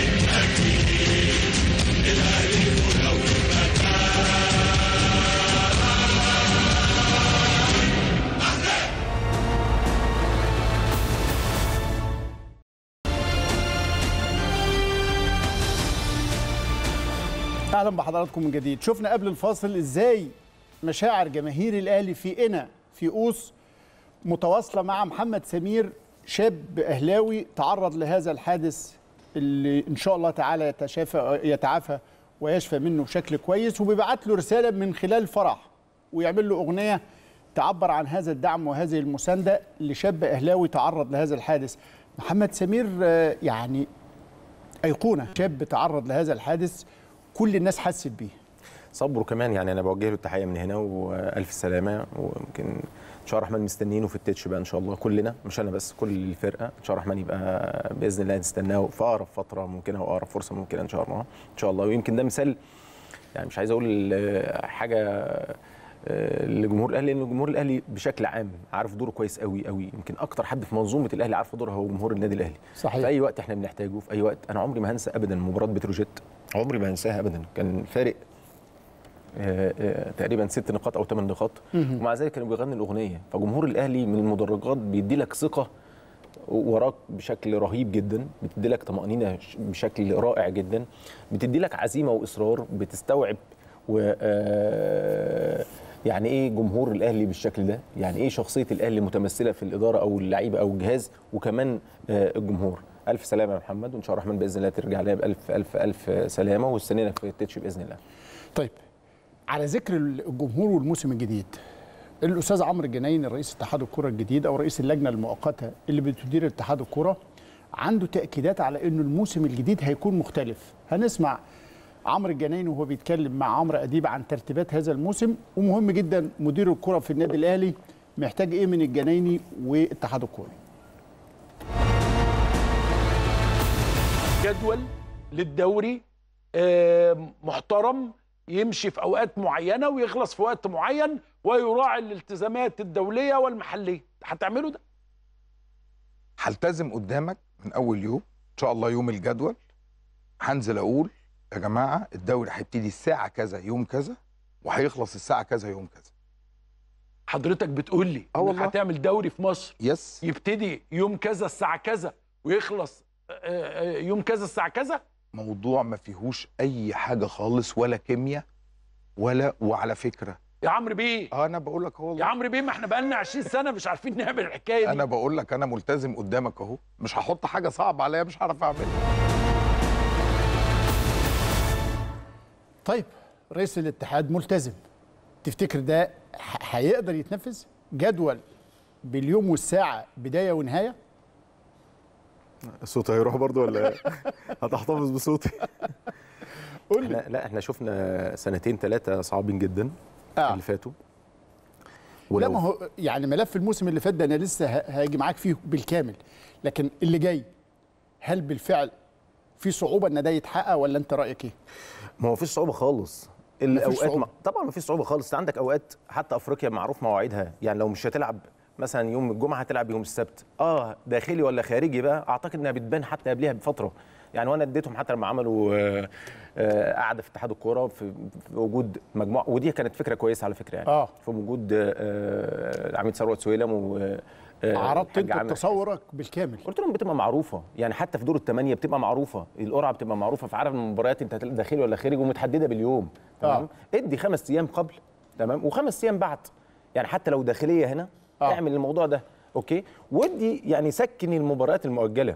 سكن المباريات المؤجلة. لو ما اتلعبتش يوم 18 مثلا مكانها محفوظ يوم مثلا آه، اتنين في الشهر اللي بعده أو الشهر اللي بعده. فأنت تبقى عارف. تمام؟ آه. لكن ما نروحش المره اللي فاتت يعني المرة اللي فاتت أو السنة اللي فاتت ديت كل الأحداث وكل التأثيرات وكل الضغط على أساس إن الأهلي ما ياخدش الدوري أوكي؟ آه. لكن برضو الأهلي الحمد لله رب العالمين خد الدوري. أتمنى إن الكلام يتحقق. أتمنى. أنا مش مش متخوف من من آه، الجدول ولا حاجة. حتى لو اتعمل ب- بأي شكل من الأشكال اللي بيخوفني دايما آه، الأداء التحكيمي. دايما. طيب واحدة من ال- الأزمات اللي بدري قوي المنتخب الأولمبي. في شهر نوفمبر عنده شهر كامل تقريبا كأس الأمم الأفريقية للشباب هنا أو تصفيات ال- الألعاب الأولمبية. أنت هتطالب بلعيبتك. طبعا. والمدير الفني هيطالب باللعيبة. المدير الفني للمنتخب هنعمل إيه؟ هيتوقف الدوري شهر وي أو 40 يوم ولا في حلول؟ يعني في بعض الحلول أنا اتكلمت عنها هنا. ليه ما نجربش الحل التونسي؟ اللعيبة تدخل المعسكر ينتظم معسكر المنتخب ولاعيبه المنتخب اللي لهم بتطلع تلعب ماتش الدوري وترجع.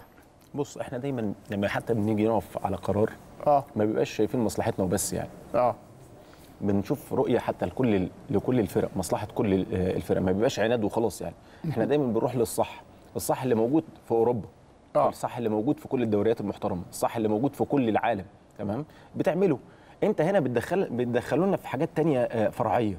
أوكي؟ يعني ممكن تبقى حاجات إعلامية ممكن تبقى حاجات شخصية ممكن تبقى حاجات يعني نفسية. يعني في ناس مرضى. آه. في ناس مرضى يعني يعني عندهم مشكلة إن القرار جاي من الأهلي بس أو القرار أو دي رغبة الأهلي فقط. دي مشكلتهم في الحياة. فهيعكنن عليك. آه دي مشكلتهم في الحياة. يعني دي آه. مشكلتهم في الحياة. لكن لو يبص إيه اللي بيقوله الأهلي أصلا؟ هل هو في الصالح العام ولا لأ؟ أها. أعتقد الأمر هتختلف أو الأمور هتختلف يعني. أنا مع النظام على فكره آه. آه. يعني أنا مع النظام. بس النظام اللي يبقى عليا وعلى غيري. آه ماشي. هتخش في نوفمبر ولا حاجة ما فيش حد بيلعب من غير لعيبته خالص في العالم. ما فيش حد بيلعب من غير اللعيبة بتاعته خالص يعني. بالذات دلوقتي. لعيبة المنتخب الأولمبي مقيدين في الفريق الأول مش ناشئين. حتى من الحاجات اللي هي كانت صعبة جدا إن أنت جيت رحت عامل تل- 30 لعيب فقط. آه.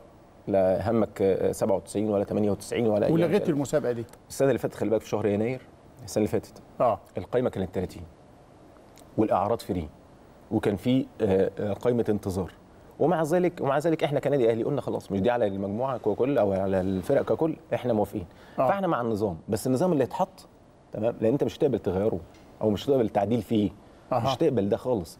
وبعدين أنا برضه هقول لك حاجة يعني ما تطالبش الأهلي دي وجهة نظري الشخصية على فكرة وجهة نظري أنا الشخصية يعني.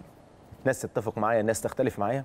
ما تطالبش إن يبقى في عصر في صوت عالي وأشبه بالبلطجة وقله التقدير وقلة الاحترام وقلة الكلام الصح واللي ما يتنافى مع السلوك ال- الرياضي والاخلاق الرياضية وتطالبني ابقى الشعراوي مش هينفع يعني آه. مش هينفع مش هتنفع هتبني ان الامر بالنسبة لك يعني آه، آه، بتستعرض قوتك وده مش حقيقي أصلا أيوه ده مش حقيقي أصلا آه. ده في فرق شاسع جدا آه. جدا في كل موازين موازين القوة حتى في صحيح. كل شيء فأنت ما ينفعش أنت يبقى في زمن في كده تمام والاهلي يفضل بنفس ال ال ال ال الشكل اللي هو آه، آه، فيه الهدوء وفيه- الراقي الراقي جدا ما إحنا طول عمرنا راقيين آه. وهنفضل طول عمرنا راقيين غصبا عن أي حد هنفضل طول عمرنا راقيين. راقيين وفي فرق شاسع ما بين ده وده.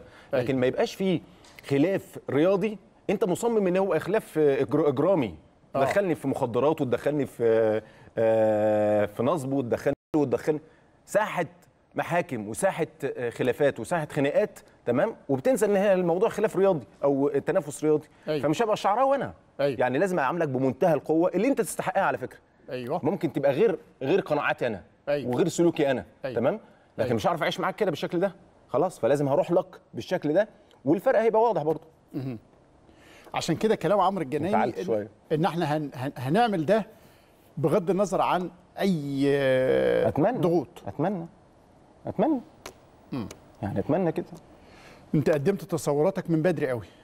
مش تصور أنا يعني أصل مش مش كيمياء يا مش- مش إبراهيم. اختراعات. مش كيمياء مش اختراعات هي. مش آه. هي مش حاجة يعني حاجة آه، صعبة. وبعدين لبانه تتقال لبانه عارف اللبانه يعني تروح من من ده لده لده لده. وهي هي نفس اللبانه حتى طعمها بيبقى في ميكروباص بيطلع على المحور. من 11 ل 2 الصبح ده. عارف الميكروباص ده؟ من رئيس الموقف لكل الركاب لازم يشتموا في الأهلي. آه والله. ده أقول لك على حاجة كويسة قوي أنا أي حد السنة اللي فاتت كان بيغلط فيا ولا حاجة عمري ما رديت على حد خالص. صحيح. بل بالعكس كلهم فوق دماغي يعني وراءهم وزي ما قلت لك يعني إيه الدنيا بتلم يعني. تمام؟ أيوة. في واحد من الركاب اللي بيطلع من الميكروباص بتاع المحور ده. يعني قعدت مرة أسمعه كده فقال لك يعني هو اهلاء هو زملكاوي ابا عن جد. آه. وبعدين قلت يا نهار أبيض هو الشخص ده؟ أنا ما بكذبش أنت عارف يعني. طبعا. الشخص ده في 2013 في 2013 آه. عندنا آه، بطولة أفريقيا. ما كانش في دوري شبه ما فيش دوري يعني. أيوه وكان مجموعتنا الأهلي والزمالك وليوبار وأورلاندو. آه. أول مباراة جمعتنا يوم 22 7 تمام؟ 2013 مع الزمالك في الجون. أيوه. واحد واحد. كان أحمد جعفر و... وأبو تريكة. اللقاء أيوة. الثاني الزمالك هيلاعب ليوبار في الكونغو برازافيل مش الكونغو الديمقراطية برازافيل. أيوه. وإحنا هنلاعب أورلاندو. آه. إحنا خسرنا من أورلاندو والزمالك خسر من ليوبار لو تتذكر يعني. أيوه أيوه. الشخص ده اللي بيطلع دلوقتي يقول لك زملكاوي أبا عن جد ده. آه. كلمني تمام؟ قال لي بص الزمالك غلط غلطة كبيرة جدا. اوعوا أنتوا أملنا انت عارف أنتوا أملنا في في البطولة الأفريقية. الزمالك نزل في بنت وار مدينة هناك وراح للمدينه الثانية اسمها دولسيه على بعد 170 كيلو. بس الطريق وحش قوي. راحوا قبل الماتش بيوم ومحمود فتح الله أنا فاكر الأس- فاكر المكالمة كويس قوي. آه. محمود فتح الله قعد يرجع والدنيا كانت وحشة قوي وبتاع. خلي بالك يا سيد انت حبيبي وانت اللي هو بيشتمني كل يوم ده أساسا انت حبيبي والأهلي ده الاهلي الأهلي يا عم ده. الاهلي ده الأهلي مصر. آه. تمام؟ فدلوقتي أسمعه وأقول يا ابن الذين ده أنا عايز أعمل لك دي ان إيه عايز أعرف أنت إيه؟ أنت إيه يا ابني؟ يعني لو في تحليل صحيح. اعمله لك. آه والله. فما فيش مشكلة يعني في الأول والآخر يعني يا- آه، دي ناس واخدة اتجاه معين. الاتجاه ده مش هتعامله أنت بالمنطق في 2019 اللي هي المفروض يبقى فيها عصر. في عصر المنطق والدماغ والرؤية والعلم آه، والتقدير والاحترام والكفاءة والتاريخ اللي ما بين كل الناس وبعضها؟ مش هتتعامل معاها غير بالطريقة اللي هو عايزها بقى. آه. وده يا جماعة المطلوب إنك في النهاية ده كأس البطولة اللي الكابتن سيد بيتكلم عليها. لكنه ما هو كل نادي عنده التزاماته وكل نادي عنده آه، ظروفه وتعاقداته. حتى لما نادي الزمالك تعاقد مؤخرا مع ال- المدير الفني الأجنبي الجديد. ناس كتيرة أثير أثارت كلام كتير حوالين المدرب وحوالين مشاكل له حصلت في جنوب أفريقيا وأغلفت أغلفت مجلات صدرت عن هذا المدرب. ناس بعتتها لنا إحنا مالنا؟ إحنا مالنا؟ نادي أراد التعاقد مع مدرب. هو حلو ربنا يوفقه. هو وحش ربنا يوفقه. لكن فكرة إن أنا باستمرار باستمرار باصص لطبق الغير وباستمرار شاغل نفسي بالغير وباستمرار مدخل الطرف الثاني في كل مشاكلي. ما هو كل نادي يواجه مشاكله وكل نادي يحل أزماته وكل نادي يتفرغ للمهام بتاعته. لكن زي ما الكابتن سيد قال ما هو في النهاية ما حدش بيسكت أو ما حدش هيسكت. لكن نأمل وننتظر إن شاء الله في الموسم الجديد كل ال- الأداء العشوائي وكل الفوضى اللي أنتوا تابعتوها على مدار موسم كامل انتهى النهاية الطبيعية. الأهلي كان بطل الدوري. اللي هيرجع لمستواه لا هيحافظ على مستواه. مش هيرجع لمستواه هيحافظ على مستواه إن شاء الله. شريطة إن الموسم الجديد نتخلص من جزء حتى من فوضى التحكيم اللي حصلت. لأنه اللي حصل من ملف التحكيم في الموسم اللي فات أعتقد غير مسبوق. هنقف بالتأكيد معاه أو عنده مع الكابتن سيد بس نشوف كمان الأستاذ عمرو الجنايني وهو يتحدث عن ظروف التحكيم في الموسم الجديد. طيب هنعمل إيه في الحكام؟ أنتوا صحيح وقفتوا حكم آه، جهاد جريشة وحاجات كده لا. فندم ده ما كنتش أنا جيت لسه. لا في آه، يعني زي ما حضرتك آه، هنا برضو في القرارات الكابتن جمال غندور هو رئيس لجنة الحكام. ولجنة الحكام برضو هيبقى يعني أعتقد مع تطبيق الفار الدنيا هتبقى أسهل شوية من إيه مم. من الاجتهادات اللي كانت بتحصل قبل كده ف ده هتعملوا ما هم نفس الحكام وفي شكوى كانت مريرة الموسم اللي فات من الحكام م? هتقدروا تعملوا حاجة تخلوا التحكيم أفضل يعني هقول لك حاجة يعني إحنا في بكرة ماتش آه، الزمالك و... والاتحاد semi. final آه semi final كاس مصر بكرة هيتلعب بحكام أجانب مم. حكام أجانب بناء على طلب الفرق. واساسا آه، في قرار كان متاخد من اتحاد الكورة السابق إن اللي عايز حكم يبعت يدفع فلوسه. يدفع فلوسه ويبعت طلب قبلها بكذا. فأنا حتى ما جيتش يعني ما رضيتش إن أنا أقول إيه خلينا نكمل المسابقة زي على نفس الشروط اللي إحنا كنا بنعملها طول السنة. وبإذن الله من أول السنة هنحاول قدر المستطاع يعني تم يعني يتمنى لي الحظ إن أنا أخلصها إن شاء الله مع رؤساء الأندية كلهم متعاونين ناخد قرار كلنا مع بعض إن حكام مصريين طول السنة خصوصا إن هنجيب لهم فار فيعني يا أستاذ عمرو أنت هتعمل ماتشات ال ال لا ما. تقوليش أهلي وزمالك مش أهلي وزمالك. أهلي وزمالك ده قرار رئيس وزراء بقاله فترة طويلة جدا انه هنجيب. حكام أجانب. إنما أنت ناوي تعمل الماتشات كلها بحكام مصريين. إن شاء الله بإذن وعندك ثقة في الحكم المصري. مفيش أروع من كده مع وجود الفار كمان. يا راجل ده أنت شخصيا كان عندك مشاكل مع الحكام أنا؟ المصريين. أنا عمري ما كان عندي مشاكل. أنت ناسي. أنت شخصيا. لا والله لا لا لا. بص هقول لك حاجة. حط system تاني. حط system ومش هتلاقي حد يشتكي خالص. وبعدين في فار يا عمرو الفار لما يركب انت عاي- عايز إيه تاني؟ حط system محدش يشتكي.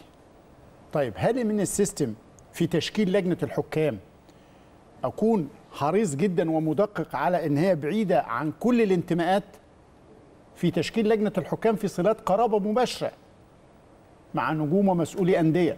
هل ده هيفضل موجود؟ هل ورئيس اتحاد الكرة أو مجلس إدارة اتحاد الكرة بيتحلى بكل معايير الدقة والنزاهة. هل فعلا راعى ده في تشكيل اللجنة؟ الأهلي عايز إيه من لجنة الحكام. الأهلي عايز الفار بس. عايزين الفار بيخلص مش عايز حاجة من لجنة الحكام. يعني لو هتقعد تقول يعني من هنا للسنة الجاية من هنا للسنة اللي بعدها. يعني يا راجل ده في ماتش بيراميدز اللي فات ده. كابتن طارق سامي شافني على بعد 600 متر. 600 متر. يعني آه. الماتش ده كان بتاعنا. آه. في الترتيب يعني أو النظام أو المسابقة كان ده بتاع الأهلي. بتاع الأهلي. فإحنا بنقعد على الدكة الشمال. آه. وهو ورا الدكة اللي فات آه، sorry ورا الجون اللي على اليمين. على بعد 600 متر. أيوه. تمام؟ يعني ما شافش البنالتي اللي تحت رجليه. تمام؟ وشاف الناحية الثانية وأنا بعترض هناك. آه. كابتن طارق سامي اللي يعني مثلا يعني آه، آه، في مباراة الزمالك وحرس الحدود كان هو بيديرها في الدور الأولاني. الزمالك والحرس الزمالك والحرس هو حسب بنالتي في صدر الولد ده في الدقيقة آه، آه، 76 آه، آه، تمام فكرتني. ما حسبش صحيح. البنالتي بتاعنا وحسب البنالتي اللي في صدر الولد آه. ده. تمام؟ في الدقيقة 74 ده شوارب بيحييك أهو آه 100 100 في الدقيقة 74 أنا عايزك تشوف بس الزمالك كان متأخر بهدف تمام آه. آه. حرس الحدود كان متقدم بهدف أيوة. والزمالك متأخر بهدف آه. فرجاني ساسي كان عنده انذار تمام في آه. الدقيقه 74 آه. هو حسب فاول لحرس الحدود آه تمام آه. بص ايد فرجاني ساسي بتعمل إيه كتفه دي ماسكة إيد آه، طارق سامي. آه. ماسكة إيده. أيوه. تمام؟ كابتن طارق سامي كابتن طارق سامي اللي ما قبلش إن أنا بعترض مثلا على البينالتي ده ما قبلش من على بعد 600 متر. لكن قبل إن واحد يمسك إيديه. آه. تمام؟ بس هو عشان عنده انذار والزمالك متأخر بهدف فما ينفعش يديله الانذار الثاني يعني. عايز أقول لك بقى إن يعني الانذار ده كان يطرد فرجاني ساسي طبعا. يعني عمل له ملخ في في في كتفه. في كتفه بيتعالج منه لحد دلوقتي مثلا. فشافني أنا. آه. تمام؟ آه. شاف البنالتي اللي اتحسب عليه. اتحسب علينا في الدقيقة 86 في مباراة وادي دجلة على بعد مثلا 25 26 يارد من- في ال 18 أو على آخر دخلة على الكورنر ولا حاجة بتاعت الشناوي اللي مالهاش علاقة خالص وحسبت وما شافش اللي تحت رجليه. فأنت بتتكلم على فترة هتبقى صعبة جدا. كابتن جهاد جريشه يعني معانا بقاله 3 4 سنين مش موفق بقى ما أعرفش معانا إحنا. تمام؟ مستبعد من من نادي الزمالك ما بيحكمش نادي الزمالك خالص آه. خالص. آه. فبيجي لنا إحنا. آه. فكابتن وجيه أحمد يعني رسالة رسالة أخ والنبي. يعني آه، ارحمنا شوية يعني رسالة. يعني أنا ما عنديش مشكلة أو ما عنديش أزمة إن أنت تجيب ناس بيحبها في الطرف الثاني تمام؟ بنص كلامك يعني. آه. لكن ما تجيبناش على ناس ما بتحبناش يعني مش كده؟ آه. فأعتقد إن إحنا هيبقى صعب. التعامل مش هيتغير خلي بالك بس.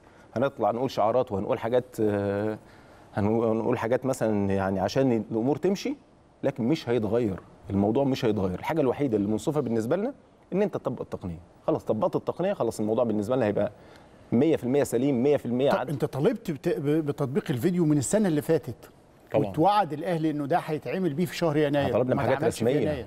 حاجة- طالبنا بحاجات خطابات رسمية رسمية، آه. آه طبعا ده من اسباب حاجة. من أسباب إن إحنا خدنا الدوري آه. من أسباب إن إحنا خدنا الدوري السنة اللي فاتت من أسباب يعني ممكن تكون قوية جدا إن الزمالك طلب حكام أجانب حكام أجانب آه والله يعني. آه. مش عشان يعني شك أو تشكيك في الحكم المصري انت بتتعرض في بعض الأمور لضغوط شديده جدا تمام؟ فبتلاقي الأخطاء يا راجل ده ده, ده كابتن محمد معروف. آه. أنا ماليش علاقة لا ناقة ولا جمل في الكاس خلاص خرجت أيوة. من الكاس. كابتن صحيح. محمد معروف اديني بنالتي حسبه على الزمالك. في تاريخه. في تاريخه كله. تاريخ كابتن محمد معروف كله. طب اديني كام بنالتي حسبه محمد كابتن محمد معروف على على الأهلي؟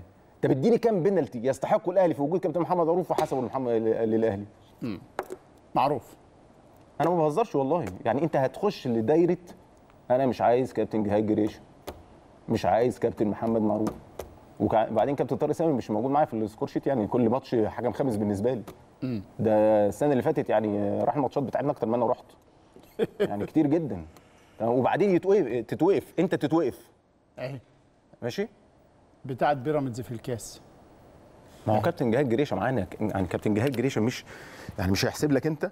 بص بقى أنا عايزك تشوف بقى كابتن طارق سامي فين. بص كابتن طارق سامي فين اهي فوق اللعب. آه، مكانه فين؟ آه آه. فشوفني أنا على بعد 600 متر. آه. على بعد 600 متر بعترض. تمام؟ انت شايفك منور من بعيد. من الناحيه الثانية خالص. لا ويعني آه، مفيش وما مشكلة خالص. دي. لا وبعدين تيجي مثلا حد يعترض مسؤول في حتة تانية ولا حاجة كل المنظومة تعمل نفسها مش واخدة بالها نامت بدري. آه. نامت بدري. يعني آه والله نامت بدري. لكن معانا إحنا يعني النظام صاحيين قوي. آه يا عم خلاص. يعني خلاص ادينا ادينا حقنا. وادي للناس حقها. أنا ما عنديش أي أي أزمة جوايا. آه والله يعني لو في فعلا تقنية أو في نوع من ال ال الإعادة فبتبين اللي عليك واللي ليك. أنت بتتكلم في العدالة في العدالة في العدالة. أي كلام بس للاستهلاك المحلي لكن أول ما تطبق ولا حاجة خلاص عليا وعليك بقى. مش أخطاء تحكيمية وأخطاء وردة وأخطاء ما أعرفش مين. بعدنا كتير جدا عن الدوري السنة اللي فاتت في البداية بأخطاء تحكيمية. بعدنا كتير جدا. ما آه. عندناش استعداد لكده. ولازم نكون إحنا حريصين لده خلي بالك. آه. ونكون مركزين في ده. يعني في حاجات بتبقى ناعمة جدا ناعمة لكن اللي وراها يبقى صعب. فلازم تبقى يكون إن أنت طيب الفار أنت بتتكلم على بشر برضو. فقط عندهم فرصة لرؤية تانية. هل تعتقد إن ده نسبة هيبقى النجاح آه. أعلى. آه. نسبة النجاح أعلى. كابتن جهاد جريشة لو شافها تمام لو في الفار موجود في في عندك بيراميدز تفسير عندك تفسير لنموذج جهاد جريشة. لأنه حكم يعني أنت أنت مصنف إن أنت الأول في مصر رحت كأس عالم رحت كأس الأمم بعد ما كانت واقف بس فعلا اخطائه مع الأهلي عليها علامات استفهام هو كتير. بيعتذر عليه يعني نفسي يعتذر وبيعتذر. نفسي يعتذر لفرقة بتلعبنا يعني مع مع مع ماتش زي الإسماعيلي لو تفتكر اللي كان في الجونة اعتذر لنا على أساس إن البنالتي كان لينا وجول لينا فاعتذر لنا انه ما حسبوش. آه. لو تتذكر يعني. آه، آه. اعتذر لنا في مباراة الرجاء لما كان البنالتي علينا بتاع شريف اكرامي بالظبط. اعتذر مطروح. آه. اعتذر لنا في ماتش اللي فات لما كان الب... اعتذر لنا مرة لينا إحنا. يعني للفرقة الثانية أنت للفرقة الثانية وحسبتها للأهلي. كله ضرب ضرب. مفيش شتيمه مفيش شتيمه لا خالص. يعني إيه ده؟ ده عدم توفيق ولا بص ولا أنا أنا زي ما قلت لك أنا إيه؟ في وجود آه، بحترم كابتن وجيه أحمد جدا جدا لكن في وجود كابتن وجيه أحمد واختيار الأمور التحكيمية والأسماء التحكيمية تمام؟ أنا آه، أحترمه جدا. أحترمه جدا كشخص. لكن اختياره اختياراته بالنسبة لي بتبقى آه، فيها علامات استفهام كبيرة جدا. ليا وللفرقه الثانية أها. طيب. مؤكد إحنا هن هن هنقلب كتير في ملف الموسم الماضي لأنه الدوري بتاع السنة اللي فاتت دوري مش طبيعي. كابتن سيد عبد الحفيظ كان عن قال عليه إنه ده ألذ دوري في تاريخ ال- المسابقة. لكن رأي الجمهور في الكابتن سيد عبد الحفيظ عايزين إيه من الكابتن سيد عبد الحفيظ؟ نشوف هذا التقرير.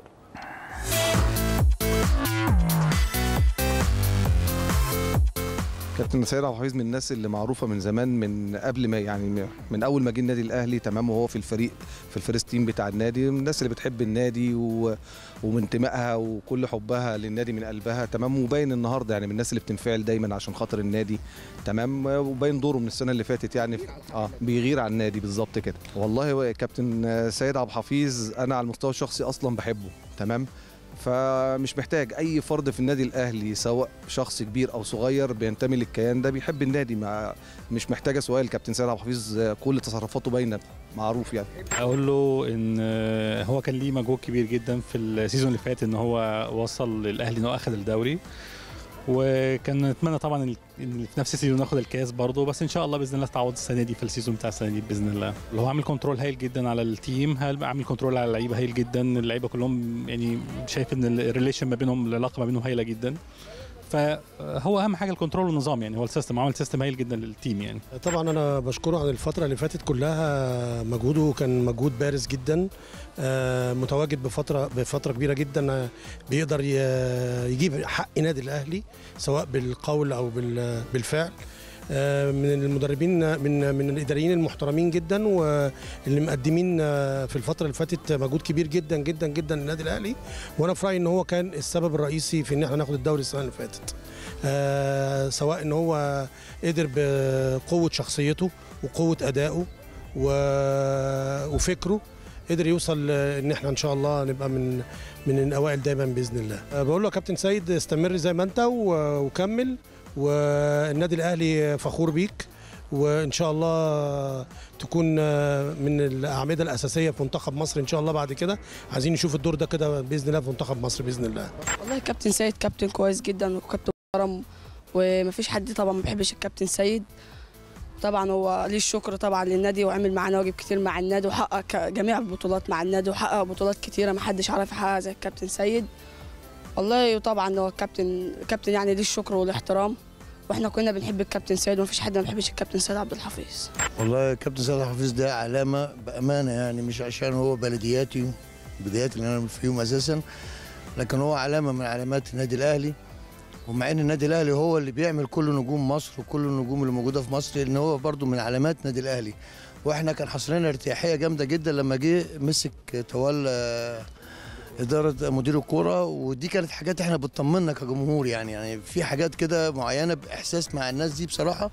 فكان يعني كان ونعم الاختيار وإن شاء الله ربنا يوفقه يا رب إن شاء الله في اللي جاي. أنا أقبل كابتن سيد طبعا والراجل ده يعني بيفرحنا واولا مفرحنا جدا إن إحنا فاهمة بالذات هو الله يرحمه كابتن محمد عبد الوهاب وكابتن آه، سيد معوض وكابتن أحمد صديق. معلش إحنا برضو يعني بن آه، فأنا أقول له ربنا يوفقك يا رب إن شاء الله وتكون إن شاء الله من المنصورين.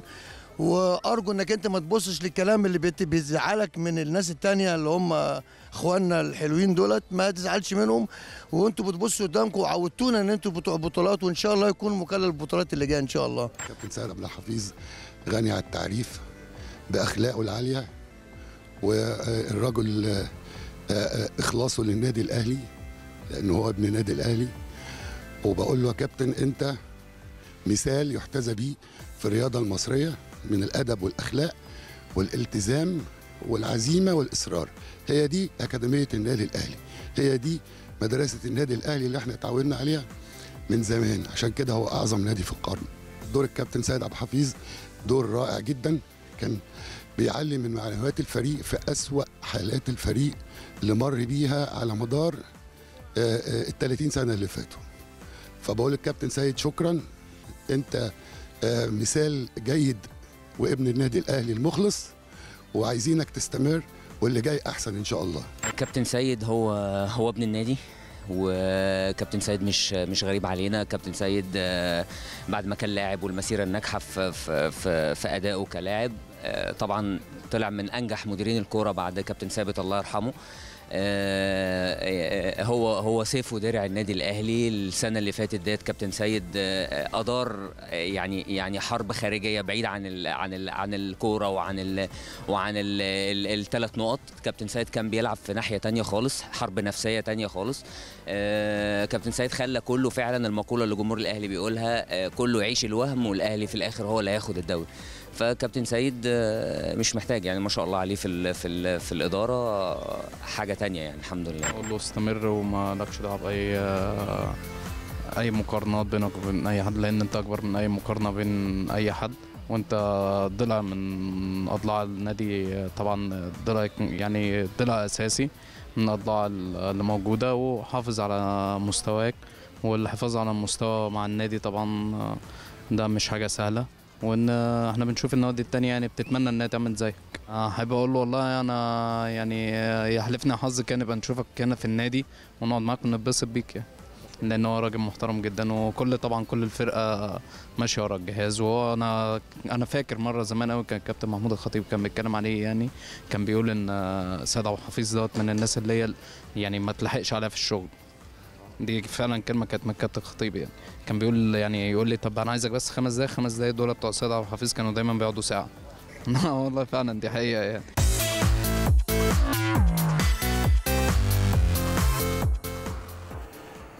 ولو نزلت الكاميرا الشارع هتسمعوا كلام أعلى من ده كمان بكتير. يعني بره النادي هتسمعوا كلام بين الجماهير عن دور مدير الكرة في النادي الأهلي الكابتن سيد عبد الحفيظ في الموسم اللي فات لأنه الحقيقة كان موسم صعب جدا. فريق الأهلي كان بيتعرض لاستهداف واضح جدا. كان فيه رجم إعلامي متواصل حتى التعبير اللي قاله الكابتن سيد عبد الحفيظ ميكروباص المحور بتاع 11 راكب كان فعلا مكثف جدا.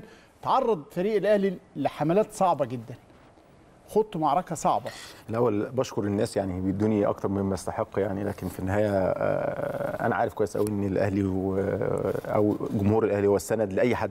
أي حد موجود أي حد موجود في في ال position ده أو مدير فني أو مدرب أو عامل أو إداري ولا أي حد كل واحد في النادي الأهلي عارف الدور بتاعه وزي ما قلت جمهور النادي الأهلي ورا النادي الأهلي في كل مكان. جمهور النادي الأهلي أنا مستني منه كتير جدا جدا. مستني منه في كل موقع حتى لو بتكتب على آه، صفحتك أو بتكتب على حاجة أنت في وقت صعب وقت في زمن صعب. صدقني أنا ما بقولش شعارات ولا حاجة لكن بقول حاجة مهمة جدا يعني. مهم قوي يبقى في تكاتف شديد قوي في المرحلة اللي إحنا فيها ديت في السنة دي والسنة اللي بعدها والسنة اللي بعدها والسنة اللي بعدها. أتمنى على المستوى الشخصي بمنتهى الصدق يعني إن إحنا نرجع لسنه 2000 و2001 و2002 وفي التسعينات والثمانينات والسبعينات ما قبل 2005 اللي هو الاحترام المتبادل ما بين الإدارتين آه، ما بين الاحترام المتبادل ما بين آه، اللاعبين الاحترام المتبادل ما بين الجماهير الاحترام المتبادل ما بين الإعلاميين. ما قبل هذا التاريخ ما قبل 2005 أتمنى إن إحنا آه، نرجع لل- نرجع لده. دي. لكن طالما الأمر ده موجود في ال- في الوقت العصر اللي إحنا فيه أكبر قوة بالنسبة لك يا جمهور النادي الأهلي. تفضل في ظهر آه، إدارتها في ظهر لاعبتها في ظهر جهازها الفني في ظهر مسؤوليها في ظهر كل اللي ينتمي لل- للمنظومة يعني. وعلى ذكر الجمهور إحنا المرة اللي فاتت حيينا اتحاد الكورة وهو بيتمسك بإنه دورة الترضيه اللي كانت هتتعمل للقسم الثاني والثالث بيلغيها. واستند لمنطق مهم جدا أو لمبدأ منطقي جدا إنه المسابقة اللي بدأت بنظام تنتهي بنظام. نفس النظام اللي انت بدأت به المسابقة تنتهي بيه. ده شيء رائع جدا ومبدأ عادل تماما. النادي الأهلي خرج من كأس مصر ملوش في إن هو يتكلم في الكأس لكن لما تبقى بعت للنادي الأهلي وبعت لكل الأندية اللي شاركت في كأس مصر إن مسابقة الكأس بدون جمهور والأهلي يلعب مع بيراميدز بدون جمهور ويخرج من الكأس وهو منزوع سلاحه المهم جدا وهو الجمهور ما أعتقدش إنك من العدالة ترجع في الأدوار النهائية تقول النهائي يوم 8 9 بيراميدز تخطى بتروجيت النهارده هيلاعب الزمالك في النهائي وهناك مطالبات بعودة الجمهور في النهائي. طب ما هو نفس المبدأ. ما أنا بفكرك بكلامك. أنت لسه لاغي دورة استنادا لمبدأ منطقي وعادل جدا. المسابقة بدأت بنظام تنتهي بيه. اشمعنى يتعدل دلوقتي؟ مش في أندية خرجت من الكاس لأنها لم تستفد من حضور جماهيرها؟ مش لو اديتني هذه الفرصة آه ممكن أخسر بس ممكن أكسب. بس ما تستلش سلاح مني ما تنتزعش سلاح مني ثم تديه لمنافسين آخرين. أعتقد المبدأ العادل جدا إن أي مسابقة بدأت بنظام تنتهي بيه وإلا رجعوا دورة الترضية ورجعوا كل حقوق الناس اللي أنتوا رفضتوها استنادا على هذا المبدأ. كابتن سيد آه، كان غريب جدا ربما لناس كتيرة إنك أنت في عز ما الاهلي متأخر السنة اللي فاتت وتقريبا أنت اتكلمت في شهر نوفمبر. مظبوط. وقلت الاهلي هيبقى بطل الدوري. مظبوط. إيه بقى كنت بتضرب الودع ولا بتعمل إيه؟ لا أنت عارف شخصية النادي عندنا وعارف آه، طبيعتها وعارف آه، تاريخ تمام. وهل الأمر ده ما تعرضناش قبل كده؟ لا تعرضنا ليه. هو أنا دايما عندي قناعة آه. إن المشكلة فيك أنت في الأهلي. آه. لو الأهلي كويس قوي تمام؟ حتى لو الجميع. كويسين بس انت هتتفوق بقى بتاريخك بشخصيتك بروحك. أيوه. هتتفوق بده. خلاص تمام؟ يعني ال- الأساس أنت. الأساس أنت. تشغل بنفسك بت... آه، بالنواقص اللي عندك بالايجابيات اللي عندك تزودها كل ده كل ده. آه. فتزوده بشكل كويس قوي. كان عندي رهان وخصوصا في يناير ولما بدأنا يعني نجيب صفقات وندعم بشكل كويس قوي وتم التدعيم بشكل رائع جدا حوالي 8 صفقات مع عودة مصابين. يعني الأمر بالنسبة لنا مختلف خالص يعني. ايقنت ده تماما حتى في مباراة طلائع الجيش مع الزمالك أول ما تعادل الزمالك مع طلائع الجيش الفرق وصل لأربع نقاط. ايقنت تماما إن البطولة هتبقى آه، من نصيبنا. وخليني أقول لك برضه يعني أنت عارف كويس قوي طبيعة المن... ال- المنافسة يعني تمام؟ أيوة. كل أنت ما بتقرب وتدبدب ورا تمام؟ ما فيش الثبات اللي عندك. ما فيش آه. الثبات اللي عندك يعني. آه. انت الثبات ده بيجي منين؟ الثبات ده بيجي منين؟ من مواقف كتيرة تعرضت لها. تراكم خبرات. تمام. تعرضت لها بتتعامل معاها بثبات بتتعامل معاها بهدوء بتتعامل معاها آه، بتركيز آه، شديد جدا. ما فيش انفعال ما فيش توتر ما فيش عصبيه فكل ده اداني المؤشر الحمد لله رب العالمين إن إحنا ناخد البطولة. لكن في النهاية هي بطولة وراحت انتهت يعني. خلاص التاريخ بتاعها بينتهي. عزيزة جدا جدا على قلبي عزيزة جدا على كل آه، أهلاوي على فكرة. عزيزة جدا على كل مسؤول في في النادي الأهلي. عزيزة جدا جدا على كل واحد كان آه، بينتمي وشارك آه، فيها. بشكر الجميع كل الناس كل الناس حتى اللي لعبت آه، أقل حتى الناس اللي خرجت دلوقتي. كان لهم دور ودور فعال كبير قوي. لكن هل إحنا ما عندناش يعني نفس الصعوبة السنة الجاية؟ هيبقى عندنا صعوبات. ممكن ممكن لو تعاملنا مع الموقف بمنتهى ال- الجدية ممكن تبقى أقل. تمام؟ لكن هل هل آه، المنافسة هتبقى معدومة؟ لا إحنا طبعا ناس مهنيين ناس حرفيين ناس عندنا خبرات في ده.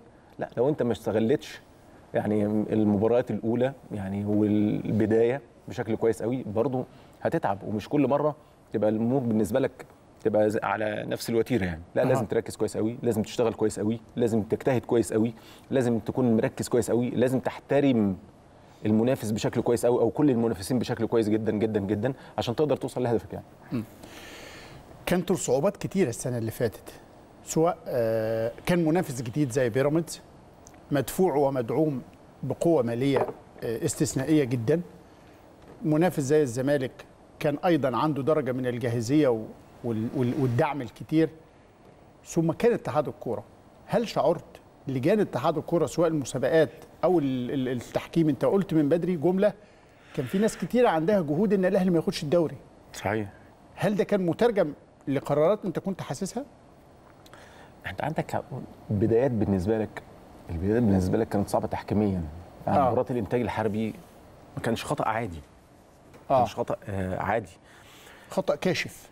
فظيع. فظيع جدا. تمام؟ أنت بتعتمد على نفسك صحيح. لكن أنت بتلعب دوري فبتستفاد من تعثر الفريق أو تأخر فريق أو يعني آه خناقة في فرقة تانية. آه. يعني ما عندناش إحنا سياسة إن يعني يبقى في خناقة ما بين اللعيب توصل لضرب مثلا يعني آه. أو خناقة. أهي. آه تمام. دي كانت في مباراه مباراه آه. ده الإنتاج الدين الحربي الصفاره في بقه محمد أبو. خاطر. آه. محمد أبو خاطر. آه. بص. افتكر لك إيه أنت كل كل بص كل الدين جري ووقف. ها؟ راقب الحكم. كده؟ راقب الحكم؟ وافتكر إنه لا ما ينفعش يصفر أهو. قال له يا عم وشي حافظه؟ أنا حافظه. أنا حافظه. يعني أنت بتتكلم في حاجات غريبة جدا. آه. وبعدين بقى إيه؟ وبعدين يجي يقول لك إيه؟ عادي. يعني ده إبراهيم نوديه هيصفر أصلا. آه، آه، كابتن جهاد. جريشة يقول لك أنا لو كان لو كان قال لي آه، بنالتي كنت هحسبها. طب ما أنت شايفها آه منتظر إيه؟ يعني أنت هو لازم يقول لك الحكم الخامس. فطبعا يعني أنا زي ما قلت لك خلاصة القول يعني. في حاجات لو قلنا فيها للصبح مساندة ومساعدة وكل حاجة ماشي.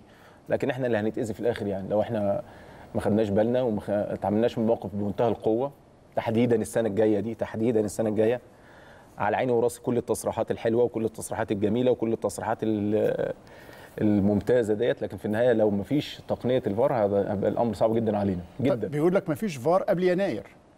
ما كانش قال في لك في الدور التاني. السنة اللي فاتت برضه. قالوا لنا آه. نفس الجملة. هو إيه الفار سمعتها ده؟ شتوي. يعني ولا؟ أنا سمعتها قبل كده. أنا سمعتها قبل كده. يعني عارف ال- ال- التلفزيون 14 بوصة ده؟ آه. أنا أنا موافق عليه. آه. آه والله ما فيش مشكلة. بس أي فرصه أي فرصة لمحاولة رؤية تانية إيه إيجابيات الحكم الخامس؟ إنه المفترض بيكشف منطقة بتاعة الجزاء. إيه اللي عمله؟ يعني ما نسبة النجاح دايما مئوية. آه. مظبوط؟ يعني أنت ما تجيبليش حالة كان فيها متفوق الحكم الخامس مثلا؟ في في 100 حالة مثلا. آه. لا انت هد اعمل مؤشر كده واعمل إحصائية وشوف الحكم الخامس. تدخل في كام قرار صحيح؟ أنصف كام فريق؟ تدخل في كام قرار صحيح؟ النسبة بتاعته كانت آه. قد إيه؟ آه. 70% 80% 90% إذا كان في نجاح للتجربة. آه. لكن لما يبقى لما يبقى بسبب الحكم الخامس الحكم ال- الأساسي يقعد يقول لك لولا الحكم الخامس لولا هو الحكم. الخامس لولا الحكم الخامس لولا الحكم الخامس. بقى وجوده سلبي. ده معانا إحنا. آه آه. تمام؟ في حتة تانية إيجابي جدا. يعني في مكان تاني إيجابي جدا. آه. قال لك ممكن من اللوائح إن في ضربات الجزاء يبقى ليك ثلاث محاولات. الرابعة احسبها الرابعة يعني الرابعة عليك احسبها ده الكابتن في مباراة الزمالك والمقص يعني في المحاولة الثالثه والرابعة هحسبها بقى. توافق على ال 14 بوصة دي؟ هتطبق عدالة. جزء من العدالة. هتقول لي المنظر والشكل و... يا سيدي بس عدالة. يعني حطها حضرتك في كرتونة كده. تمام آه. ويكون موجود انت واعمل لها أوضة بس هتطبق عدالة مش هتظلمني مش هتخرجني من الكاس مش هتأخرني في الجدول أو آه. مش هتأخرني في شيء من لا. شيء يعني. مش آه. كده مش آه. كده يعني وإحنا بنلاعب وادي دجلة مرة من المرات كنا بنلاعب وادي دجلة في الكاس وكان في الحتة ديت موجودة أوكي واتحسب علينا بينالتي وصرنا واعتراض شفته في الكاميرا في لحظتها خلاص آه خلاص حقه انتهت لكن هنطلع بقى نقول فلان الفلاني ومش عارف إيه أصله طب تشوف الكرة دي طب ارجع للكرة دي. طب وأنت متأكد إنها بينالتي؟ ومتاكد إنها م- لو على مش الاهلي محتاجة. مش محتاجة. آه. فاعمل ده. هيكلف بقى ولا مش هيكلف؟ ما أنت بتصرف ملايين. أنت النهارده الميزانيه بقت عالية جدا. آه. الميزانيه بقت آه، آه، رهيبة جدا في كل الأندية. أيوه. لكل الأندية. بس إيه إيه متعة كرة القدم؟ إن أنت تظلم في تظلم فرقة. إيه متعه إيه المتعة في ده؟ يقول لك أخطاء التحكيم من متعة كرة القدم. ده أخطاء التحكيم من مساوئ كرة القدم. عبر تاريخه. إهدار حق. تمام؟ عبر تاريخه. أيوه. أنت فاكر في آه، الجول بتاع كابتن حسن شحاتة؟ اللي ضيع الدوري من الزمالك السنة دي؟ لا صعب. لا صعب. والله العظيم صعب. صعب جدا. وبعدين أنت كمان يعني كل واحد أنا مقتنع آه، بفكرة إن عشان أتخانق معاك هجيبك ملعبي. آه. اللي همتاز فيه. أنا مش هعرف أروح لصوتك. مش هجيب صوتك هجيبه منين؟ آه. يعني أوطيه تاني. نوطي الصوت مش هعرف. فخلاص بقى يعني كل المسؤولين عن الرياضة وكل المجموعة اللي مسؤولة في الوقت الحالي لا آه. تقنية الفار بقى شيء زي بالظبط زي بالظبط الحكم الساحه آه. مكلف بقى يطلع بملايين يطلع ب بارقام خيالية يطلع يطلع لكن هيحقق عدالة. مم. هينصف فرقة على فرقة. هينصف فرقه على فرقه أقول لك على حاجة كويسة. آه. الداخلية مثلا السنة اللي فاتت. آه. الداخلية. حرسوا الحدود السنة اللي فاتت. مم. في مباراة مع الزمالك السنة اللي فاتت مثلا في الدور الأول. آه. حرس الحدود خسر بضربة جزاء للكابتن أحمد سامي. آه أحمد آه، طارق سامي. آه. تمام. آه. كانت كفيلة الثلاث نقط دول إنه يخلي حرس الحدود مش في المنطقة الخطر في آخر ثلاث ماتشات. الداخلية تمام. الداخلية في مباراة الزمالك برضو. آه. كان في جول في الآخر كده بتاع محمود ع- كهربا. آه. كان كفيلة برضو إن الداخلية كان ممكن يبقى له فرصة صحيح في التواجد. صحيح. يعني أنت النهارده ما بتغلطش غلطة مثلا يعني بتبقى م- آه، كرة وعدت أنت بتغلط في ترتيب وبتغلط في آه، في صعود وهبوط فرق. كمان أنت كمان حتى على المستوى الشخصي. تمام. أنت بتبقى سبب سبب تمام في إقصاء مدرب أو جهاز بسبب خطأ تحكيمي وبتروح تنام عادي جدا. عادي جدا. وبتتكلم كمان إن الأمر أصلا يعني تلاقي واحد مثلا تكلمه وتقول له يا كابتن بينالتي وبتاع يقول لك إيه؟ لا هو شايف أكتر. هو شايف أكتر. يعني أنت مش بتهاجم حد لكن حان الوقت ما فيهوش هزار وتحديدا لينا إحنا. خطر علينا جدا. لو استمرينا بالشكل ده خطر على الأهلي جدا جدا جدا جدا. حان الوقت. انت بتبقى اخطاء جسيمة جدا وفظيعة جدا فما ينفعش تبقى موجودة في طب 2019 هل هل هل هتقدر أو هل هتعمل زي بقية الأندية إنك ترفض حكام بعينهم؟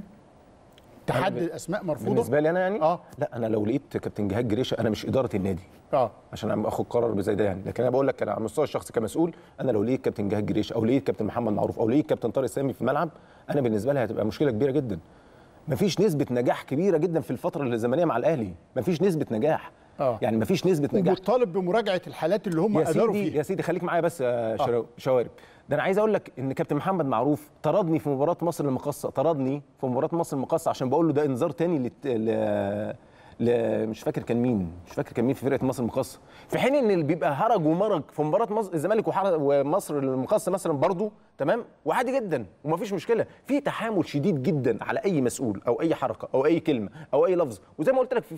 في حتة تانية بتعمل نفسك نايم بدري ولا الهوا ولا كلمة ولا حس ولا تعليق ولا أي حاجة خالص آه. يبقى اذا هنا أنت بتتكلم على منطقة خطر إحنا داخلين عليها وداخلين على بداية موسم أنا الكلام الناعم ده على عيني وراسي على عيني وراسي جميل وأشكرك عليه لكن تنفيذه وأتمنى إنه يتحقق. تنفيذه آه. تمام؟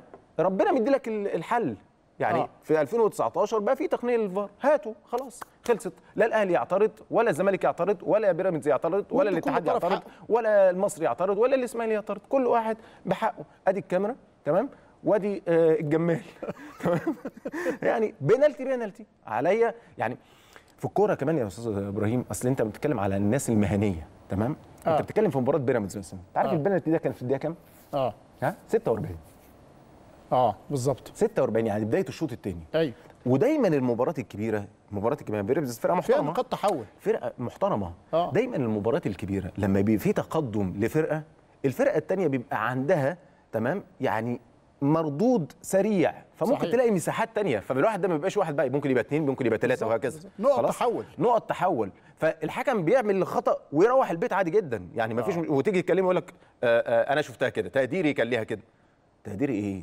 أنا قلت لك أنت بتمشي أجهزة وبتقعد أجهزة وبت... وبتطلع بطولات وبتطلع آه لا، وهو ليه تقديرك دايما. ضدي؟ وتقديري دايما ضدي. كله ضرب آه. صباح الخير. طيب. عموما بنشكركم على تفاعلكم والأسئلة الكتير. هنحاول بقدر الإمكان لأنه الوقت الحقيقة بيداهمنا. نسأل الكابتن سيد بعض الأسئلة. مجدي خاطر بيقول لك اللعيبة الجاهزه كتيرة في الأهلي واللعيبة الصاعدة كمان والمعارين. هل بتشكل صداع في رأس الجهاز؟ هل كثرة اللعيبة ممكن تبقى عامل المشكلة؟ لا بالعكس ده ميزة. ميزة. ميزة طبعا. يعني آه. فرحان جدا بمستويات بعض اللعيبة. أنا كمان يعني اللي كانوا ممكن يبقوا السنة اللي فاتت ما خدوش وقت أطول لكن السنة دي بادئين بشكل كويس حتى من معسكر أسبانيا يعني. وليد أزارو في أسئلة كتيرة عنه وعن ال- ال- حالة ال- ال- ال- ال- عدم التوفيق أمام المرمى. وكان المفترض كلام كتير اتقال إن هو هيطلع إعارة هيطلع انتقال ثم الاحتفاظ بيه. لا وليد أزارو موجود حاليا في المنتخب. آه. وليد أزارو موجود في المنتخب آه، المغربي. المغربي. آه. ان شاء الله الرحمن يكون موفق معاهم.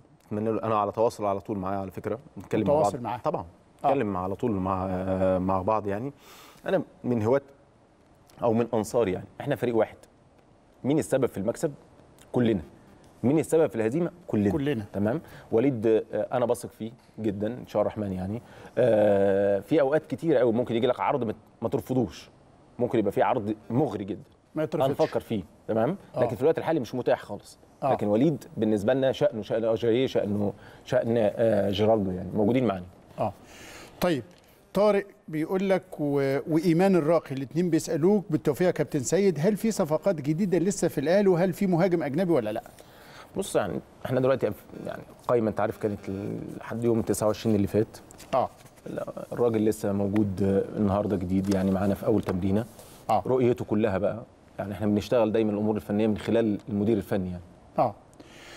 طيب أحمد عصام بيسأل على اللعيبة الشباب. بيقول لك لو سمحت يا كابتن سيد آه لعيبة كتيرة صاعدة زي صلاح محسن وزي محمود وحيد وزي محمد محمود وغيرهم من الشباب. هل ملاحظ لدى الجهاز الجديد عندهم فرصة جديدة ولا لا؟ الشخصية يعني الشخصية إيه؟ عندك 19 سنة عندك 20 سنة عندك آه، أقل من كده أكتر من كده. أنا ممكن أكون متفائل جدا بعمار حمدي السنة دي. عمار حمدي. آه، على المستوى الشخصي هو هو مسجل 99 مش كده؟ مسجل 99 بس بيتمرن معانا في الدرجة. آه يعني يعني ما انت ما, ما راحش إعارة متفائل جدا بيه عنده جراءة شديدة جدا عنده شخصية آه، ممتازة جدا أها عنده حلول كتير قوي أتمنى يا رب إن هو يستمر بالشكل اللي هو بدأ معانا بيه ده. طيب جهاد عزام آه، إمتى احتفالية الدوري وهل الجماهير هتروح التتش ولا لأ فيها؟ يعني الدرع يجي بإذن بإذن الله بالسلامة. يوصل لنا إن شاء الله الرحمن بالسلامة بإذن الله كده يعني. آه. وإحنا بنحضر مع كابتن محمود ولجنة التخطيط. تمام؟ على حاجة إن شاء الله الرحمن تبقى كويسه إن شاء الله. والجمهور يحضرها. يا رب أتمنى كده دايما. طيب.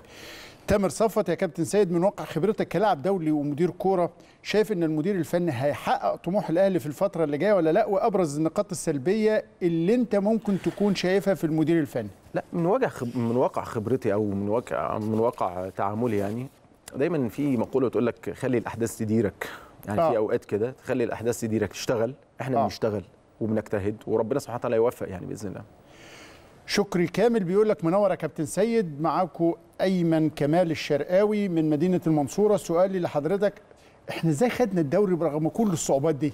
كان عندك يقين بفوز الأهلي في الدوري إزاي؟ الدنيا كانت صعبة قوي بس هو دوري غالي قوي. هو دوري ما قلت لك غالي على كل أهلاوي على فكرة. آه. على كل أهلاوي. آه. كتير قلل منه أو مم. ناس قللت منه. لكن آه. في النهاية إحنا الحمد لله رب العالمين يعني كان عندنا ثقة في جمهورنا وفي إدارتنا وفي لاعيبتنا وفي كل المنتمين لل- للمنظومة. زي ما قلت لك مش معنى كده إن إحنا نتعامل بنفس بدايات الموسم اللي فات. لا ده مش صح. أحمد علي بيسأل الكابتن سيد رأيك في التحكيم؟ وهل الأهلي فعلا مستقبلا ممكن ياخد موقف شديد ضد التحكيم لضمان حقوقه؟ الكابتن سيد قال إن إحنا بننتظر بنبدي حسن النية وانتظار كل المنظومة تأدي دورها ونشوف إيه اللي هيتم. عبد الجواد؟ أنا قلت بس عشان ما بقطعكش قلت لك لو ما فيش تقنية الفار هنتعب جدا. هنتعب. هنتعب جدا. مهما خدنا بقى من كلام ومهما خدنا من وعود ومهما خدنا من حاجات ومهما خدنا من مبررات هنتعب جدا. أكتر أكتر نادي هيتضرر من عدم تق...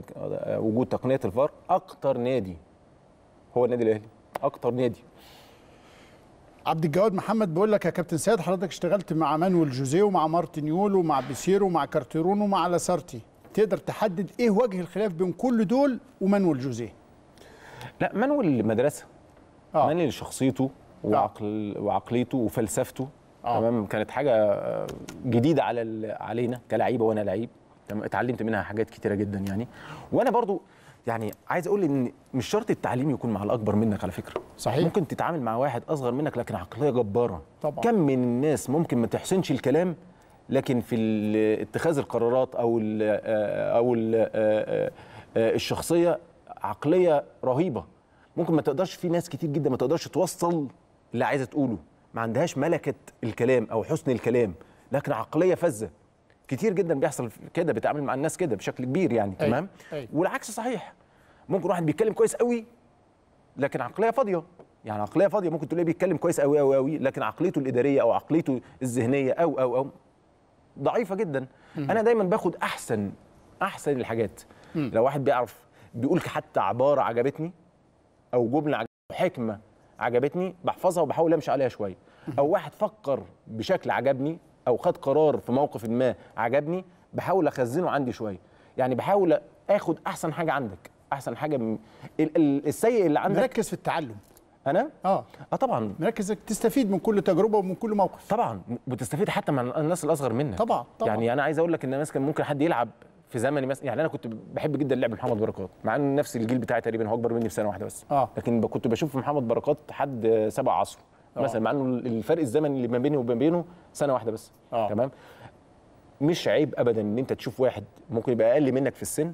لكن كم الخبرات اللي خدها أو التجارب اللي, آه، اللي شافها حتى لو راجل في الشارع بسيط على فكرة آه. أنت ممكن تقعد مع حد يعني يعني آه، آه، الحتة التعليمية عنده كانت قليلة لكن لف الدنيا مش شرط يلف الدنيا طيران. آه آه. يعني اتقابل مع ده وتقابل مع ده وتقابل مع ده. وتقابل مع ده وتقابل مع ده وتقابل. مع ده. فيقول لك يعني قصة من واقع حياته ولا حاجة تبقى بالنسبة لك بالنسبة لك نموذج تمشي عليه في حياتك يعني. ده كلام الحياة بيدخلنا في منطقة مهمة جدا لكابتن سيد عبد الحفيظ. لأنه في مثل هذا أو هذه الأيام في 2006 تقريبا كان شاب أهلاوي جميل لاعب في فريق النادي الأهلي سهران الليل كله بيسجل بصوته أغنية يودع بيها الكابتن سيد عبد الحفيظ الملاعب. وإذا بالقدر اللهم لا اعتراض تاني يوم يودع هذا اللاعب الحياة. محمد عبد الوهاب كان حدث آه، صعب قوي. محمد عبد الوهاب الله يرحمه أنا بشبهه دايما حتى في الفترة الأخيرة جدا بالأستاذ خالد توحيد. آه عليهم رحمة الله. الاثنين الاثنين يبين لك قد إيه الدنيا صغيرة جدا. أو آه. قد إيه الدنيا ممكن تبقى ما تستاهلش أي حاجة خالص يعني. أيوه. وممكن تكسب حاجات كتير. وتخسر نفسك فأنت خسرت كل حاجة. مم. وممكن تخسر حاجات كتير بس تكسب نفسك فأنت كسبت كل حاجة. مهم. فاستاذ خالد توحيد برضو كان درس درس مش عايز أقول قاسي لكن درس كبير جدا في الحياة. محمد الله يرحمه ووالدته الحقيقة برضو في الوقت الحالي يعني. أنا بوجه لها التحية على الهواء ست آه، بمليون راجل. صابرة ويعني وحكيمة جدا. آه. وكانت يعني آه، الكلام اللي أنا كنت بقوله من دقيقتين. آه. ممكن يبقى التعليم مش عالي لكن يعني تقعد وأنت بت- بتسمعها ولا حاجة مع ببساطة الكلمات. دروس. لكن تحس إن أنت آه بتتعلم بدروس. آه. تمام؟ فبوجه لها التحية. محمد الله يرحمه ممكن ما كنتش لحقته على مستوى كلعيبه أنا أكبر منه بفترة آه، زمن يعني لكن عاشرته في آخر أسبوع من من حياته. قد إيه كان راجل نقي جدا. الليلة الأخيرة افتكرها لنا كده أنت كان معاك. أنا عايز أقول لك على شوية حاجات بقى كده. آه. أنا ممكن اكون اغنية ماتش اعتزالي دي اتفرجت عليها مثلا مرتين ثلاثة منها مرة لما كنت بقدم هنا في في, في القناة. وهم فاجوني على الهوا يعني. ما بحبش اتفرج عليها خالص. واقول لك على سر أنا والله ما اعرف شريط ماتش الاعتزالي ده فين أساسا ولا اتفرجت عليه نهائي آه. بسبب الأغنية دي. مش مسألة مش عايز افتكرها. هتخليني في موت حزيني جدا وبتخليني يعني آه، آه، قد يكون توصل لدرجة مش عايز أقول الاكتئاب تمام؟ لكن في درجة بحس إن الواحد لحد دلوقتي ما اتعلمش لحد دلوقتي ما اتعلمش. الأغنية دي يعني أنا كنت مسافر مرة فكنت مسافر تقريبا آه، يعني اسكندرية آه.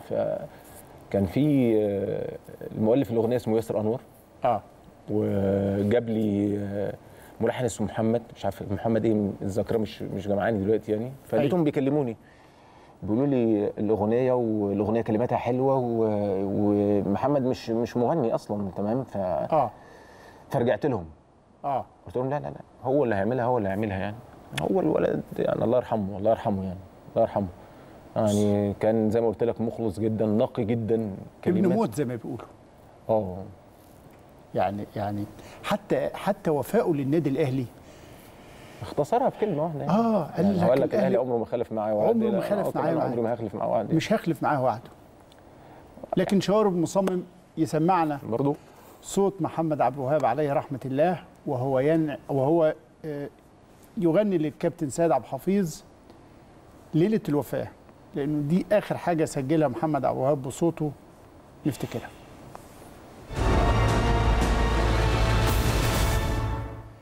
سيد هو محمد عبد الوهاب الله يرحمه هو كان بيغني لنفسه. آه تحس الكلمات كلها كمان عليه يعني. آه ده وداعه هو. آه يعني في ناس على العيون بتغيب لكن عمرها على اجمل القلب. ذكريات بتغ- بتسيب آه. يعني بقول لك الكلمات نفسها يعني يعني تحس إن هو كان بيغنيها لنفسه يقصد بها نفسه يعني. دي ليلة الوفاة. دي ليلة الوفاة. يعني هو كان سهرانين يسجلوا الأغنية. قعدنا مع بعض لحد حوالي الساعة 2 بالليل. يعني أنا سايبه يعني حتى لما جالي الخبر الصبح يعني أنا يعني حز... يعني في لحظات كده يجي لك شوية حاجات تحس إن أنت لسه ما قمتش من النوم أو بتحلم آه، أو بحاجة آه. يعني مع صعوبة ال- الخبر طبعا يعني ربنا سبحانه وتعالى يرحمه يا رب. يرحمه يا رب ويصبر أهله يعني لكن في النهاية بقول لك على الإحساس ساعتها في لحظتها يعني آه. أنت لما يجي لك الخبر ده تحس إن أنت نايم يعني مش مدرك آه. حقيقة الخبر نفسه يعني آه.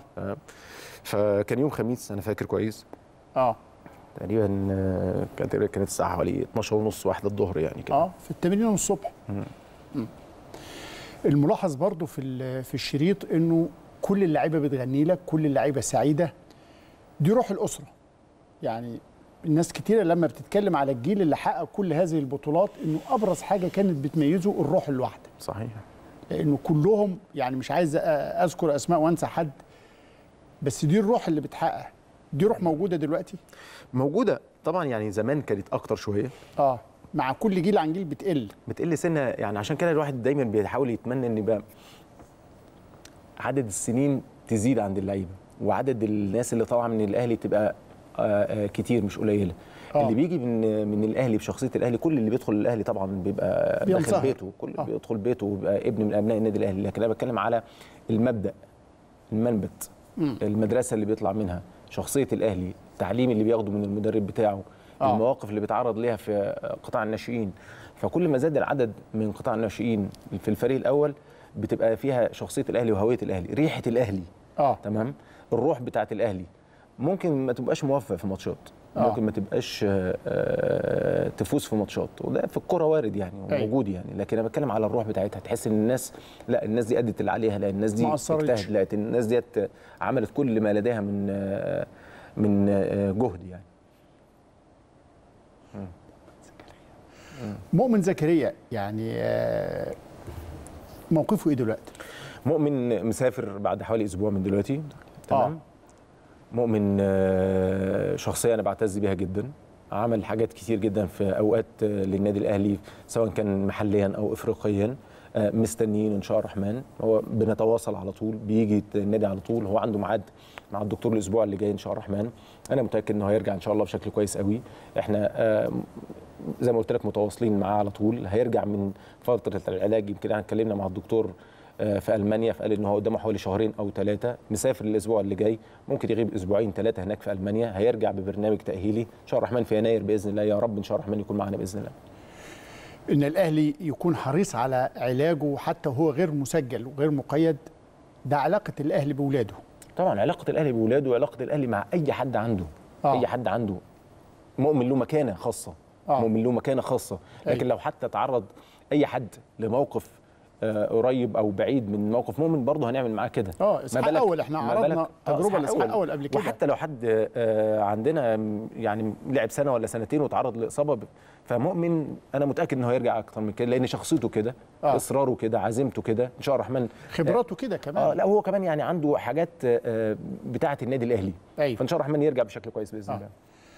طيب لو ال- ال- ال- النهارده كلام الدكتور طه إسماعيل في المؤتمر إنه آه، رينيه فايلر المدير الفني عنده مهمة كمان مع قطاع الناشئين وقال إن إحنا عايزين نشتغل مع المجموعة ال promising المجموعة الواعدة جدا اللي في فريق الشباب مصعده هيبقى في شغل للخواجة معاهم.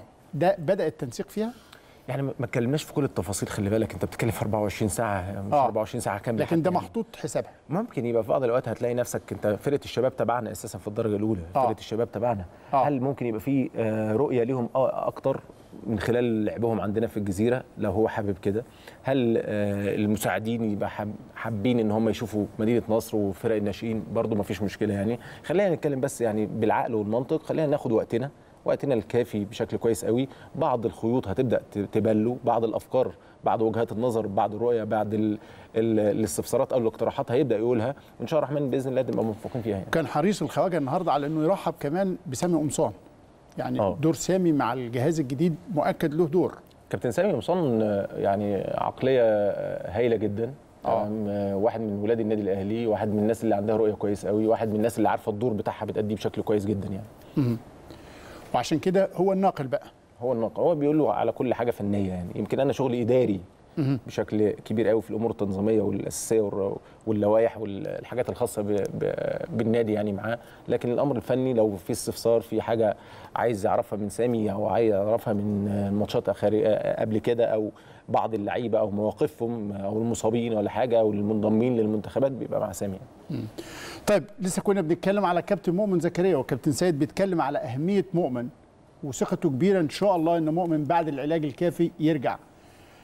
على التليفون الكابتن مؤمن زكريا. كابتن مؤمن أهلا بيك. أهلا بيك حضرتك يا أستاذ إبراهيم. إزيك يا كابتن مؤمن؟ وحشنا كتير. والله حضرتك كمان. كابتن وحشني بالك يومين وكان ما شفتكش يا مؤمن مطنشك بقالي يومين مش دمه كده؟ خفيف قوي خلي بالك آه مؤمن طبعا مرة مرة مرة مؤمن كان عندنا مباراة مش عارف مع الالومنيوم حاجة كده. آه. فأكرم توفيق حماسي جدا. آه. وواحد من الناس اللي هيبقى ليها مستقبل كبير. أنا مستنيه. أنا براهن على مؤمن على أكرم توفيق إن هو يكون واحد من الناس إن شاء الله الرحمن له مكانة في الأهلي بإذن الله يعني. آه. فخد إنذار في الثانية مثلا 20 آه. وإحنا بنلعب في آه، في بداية دور تقريبا 32 ولا حاجة. مؤمن قاعد يجري وراه شوية بتاع دقيقة كده يقول له صلى على النبي صلى. قلت له إيه ده؟ صلى على النبي. اهدى اهدى شوية. طمنا عليك يا مؤمن. الحمد لله والله يا أستاذ إبراهيم. الحمد لله. أحسن. الحمد لله. طيب إيه المراحل العلاج بقى؟ وإن شاء الله ترجع لنا في أحسن حالة. يعني إن شاء الله مسافر في نص الشهر كده بإذن الله. إن شاء الله الراجل يطمنا في ألمانيا وإن شاء الله أكون موجود في أقرب فرصة بإذن الله. يعني قيد يناير كابتن سيد يعمل حسابك. ان شاء الله الرحمن. إن شاء الله بإذن الله. أنا جيت الاهلي في يناير وأرجع الاهلي ان شاء الله في يناير. آه ده انت ظابط على يناير. أنا عندي في شهر يناير. طيب إحساسك إيه بقى الجهاز الفني الجديد النهارده؟ لا يعني أكيد آه، إحساس آه، يعني كويس آه، ان هو الراجل جه من بداية الموسم أكيد هيشوف اللعيبة كلها هيشوف الفرقة. إن شاء الله بإذن الله أتمنى له التوفيق من خلال الفرقة بإذن الله. إن شاء الله يا كابتن مؤمن نطمن عليك وفي انتظارك قبل يناير لأنه متهيألي برضو أنت هم شهرين في ألمانيا والأهلي مؤكد مهتم إن هو يوفر لك أفضل فرص العلاج إن شاء الله. أكيد طبعا أنا بشكر النادي أكيد وقف جنبي يعني مش أنا بس بشوف جاب ولاده وبتاع يعني النادي ال- الحمد لله واقف جنبي وأنا بقول لحضرتك هو كساب بقاله منا ما كلمنيش فانا زعلان يعني. إنه انشغل عنك يومين اتنين. آه لا صعب قوي كساب كده طب ده هو لسه ما دخلش في المعمعة. إذا كان من دلوقتي وبتشيغل يومين ده بعد كده يغيب عنك أسبوع. صراحة أنا من الناس اللي يعني كابتن مش كابتن ولا حاجة بعتبره أخوه الكبير وبشيره في كل حاجة. فبإذن الله ربنا يوفقه في الفترة الجاية. وأكيد واحد من الناس المهمين جدا في النادي وكده. فإن شاء الله بتمنى له التوفيق بإذن الله. كابتن بس ما تغيبش عني والنبي حبيبي يا مؤمن. مؤمن يعني دايما شخصيات اللعيبة الكبيرة تبان في ال- في المواقف الكبيرة أو الماتشات الكبيرة. آه. في الماتشات الكبيرة كل الماتشات الكبيرة هتلاقي مؤمن حاضر. كل الماتشات اللي اللي فيها حاضر بتأثير ضغوط- كمان، مش تأثير طبعا. آه. كل الماتشات اللي فيها ضغوط صحيح. يعني تسبق اللقاء أو أثناء اللقاء هتلاقيه بيأدي بشكل كويس قوي فدايما شخصية اللعيب الكبير بتبان في المواقف الكبيرة والماتشات الكبيرة. إن شاء الله تبان وترجع في أحسن حاله يا مؤمن بإذن الله. إن شاء الله بإذن الله يا أستاذ إبراهيم دعواكم كده إن شاء الله. شكرا جزيلا كابتن مؤمن زكريا. شكرا جزيلا. مؤمن أنا برصده من هو أنت ذكرت كابتن محمد رمضان. رمضان مرة مع كورفر. رمضان بس كان بيه- بيشوط بينالتي كان بي خد- بيشلني. عارف إن هو بيشوط البينالتي؟ خد الولاد الصغيرين دول كان 8 سنين و9 سنين لدورة في مارسيليا في فرنسا. كان فيهم مؤمن. مؤمن وأحمد شكري وعفروتو يعني الجيل ده. جيلين ورا بعض. فهو من صغره عنده تقريبا مؤمن 88 شكري وعفروتو 89 متهيألي. آه ما هو كان واخد. السنتين. السنتين آه. آه. كابتن سيد إحنا كنا سعداء بيك جدا وكنا نتمنى مزيد من الوقت عشان تجاوب على الأسئلة. في فرق في فرق كبير فعلا في فرق كبير بينه وبين كابتن عدلي ولا تحس إن مفيش فرق؟ لا لا لا لا أنتوا الاثنين حاجة كبيرة قوي. لكن خليني أقول لك إنه الجمهور سعيد جدا باللي أنت بتعمله. والجمهور كمان متفائل قوي بعد النهارده. الجمهور جت يعني خليكم في ظهر النادي خليكم في ظهر ال- الفريق. عندنا صعوبات شديدة جدا آه، آه، السنة الجاية. عندنا بطولات يهمنا جدا إن إحنا نحققها إن شاء الرحمن معاكم وبيكم بإذن الله. يعني عندنا شغل كتير جدا عايزين نعمله. عندنا في بعض الأوقات بنطلع نتكلم وفي بعض الأوقات بيبقى الشغل أو أكتر الأوقات بيبقى الشغل اللي هو الأهم يعني. عندنا مردود عايزين نأديه في الملعب عندنا أداء عايزين نوصل له في الملعب عندنا آه، منافسات صعبة جدا سواء كان على المستوى المحلي أو المستوى آه، الإفريقي. عايزين نشتغل نشتغل بشكل كبير جدا. رسالة لكل اللعيبة اللي جاي أصعب اللي جاي مهم جدا. كل واحد يعني يبقى حريص جدا إنه يقدم كل ما لديه على المستوى الشخصي أو على المستوى آه، الجماعي. كله بيقعد ليك. في عصر بقى مهم جدا في التقييم الأداء الرقمي. يعني الموضوع ما بقاش زي زمان يعني آه، فلان حلو وفلان جميل وفلان بيلعب. لا أنت بتتكلم على لغة الأرقام هي اللي بتسود لكن الرسالة الأكبر هي لجماهير النادي الأهلي. خليكم في ظهر الفرقة وخليكم مع الفرقة على طول كعهدكم دايما يعني. إن شاء الله الرحمن بيكم نحقق بطولات كويسة بإذن الله. إن شاء الله وسعداء بيك جدا يا كابتن سيد وكل التوفيق إن شاء الله. وزي ما الكابتن سيد قال وزي ما الدكتور طه إسماعيل النهارده شدد في المؤتمر الصحفي الأهلي في كل الظروف محتاج جمهوره. جمهور الأهلي في ظهره محدش يخاف عليه. دمتم للأهلي دائما ودام لكم الأهلي بإذن الله تعالى بطلا شامخا وعلى خير نلتقي في الحادية عشرة مساء الاثنين القادم إن شاء الله أو الخميس القادم إن شاء الله. تصبحوا على خير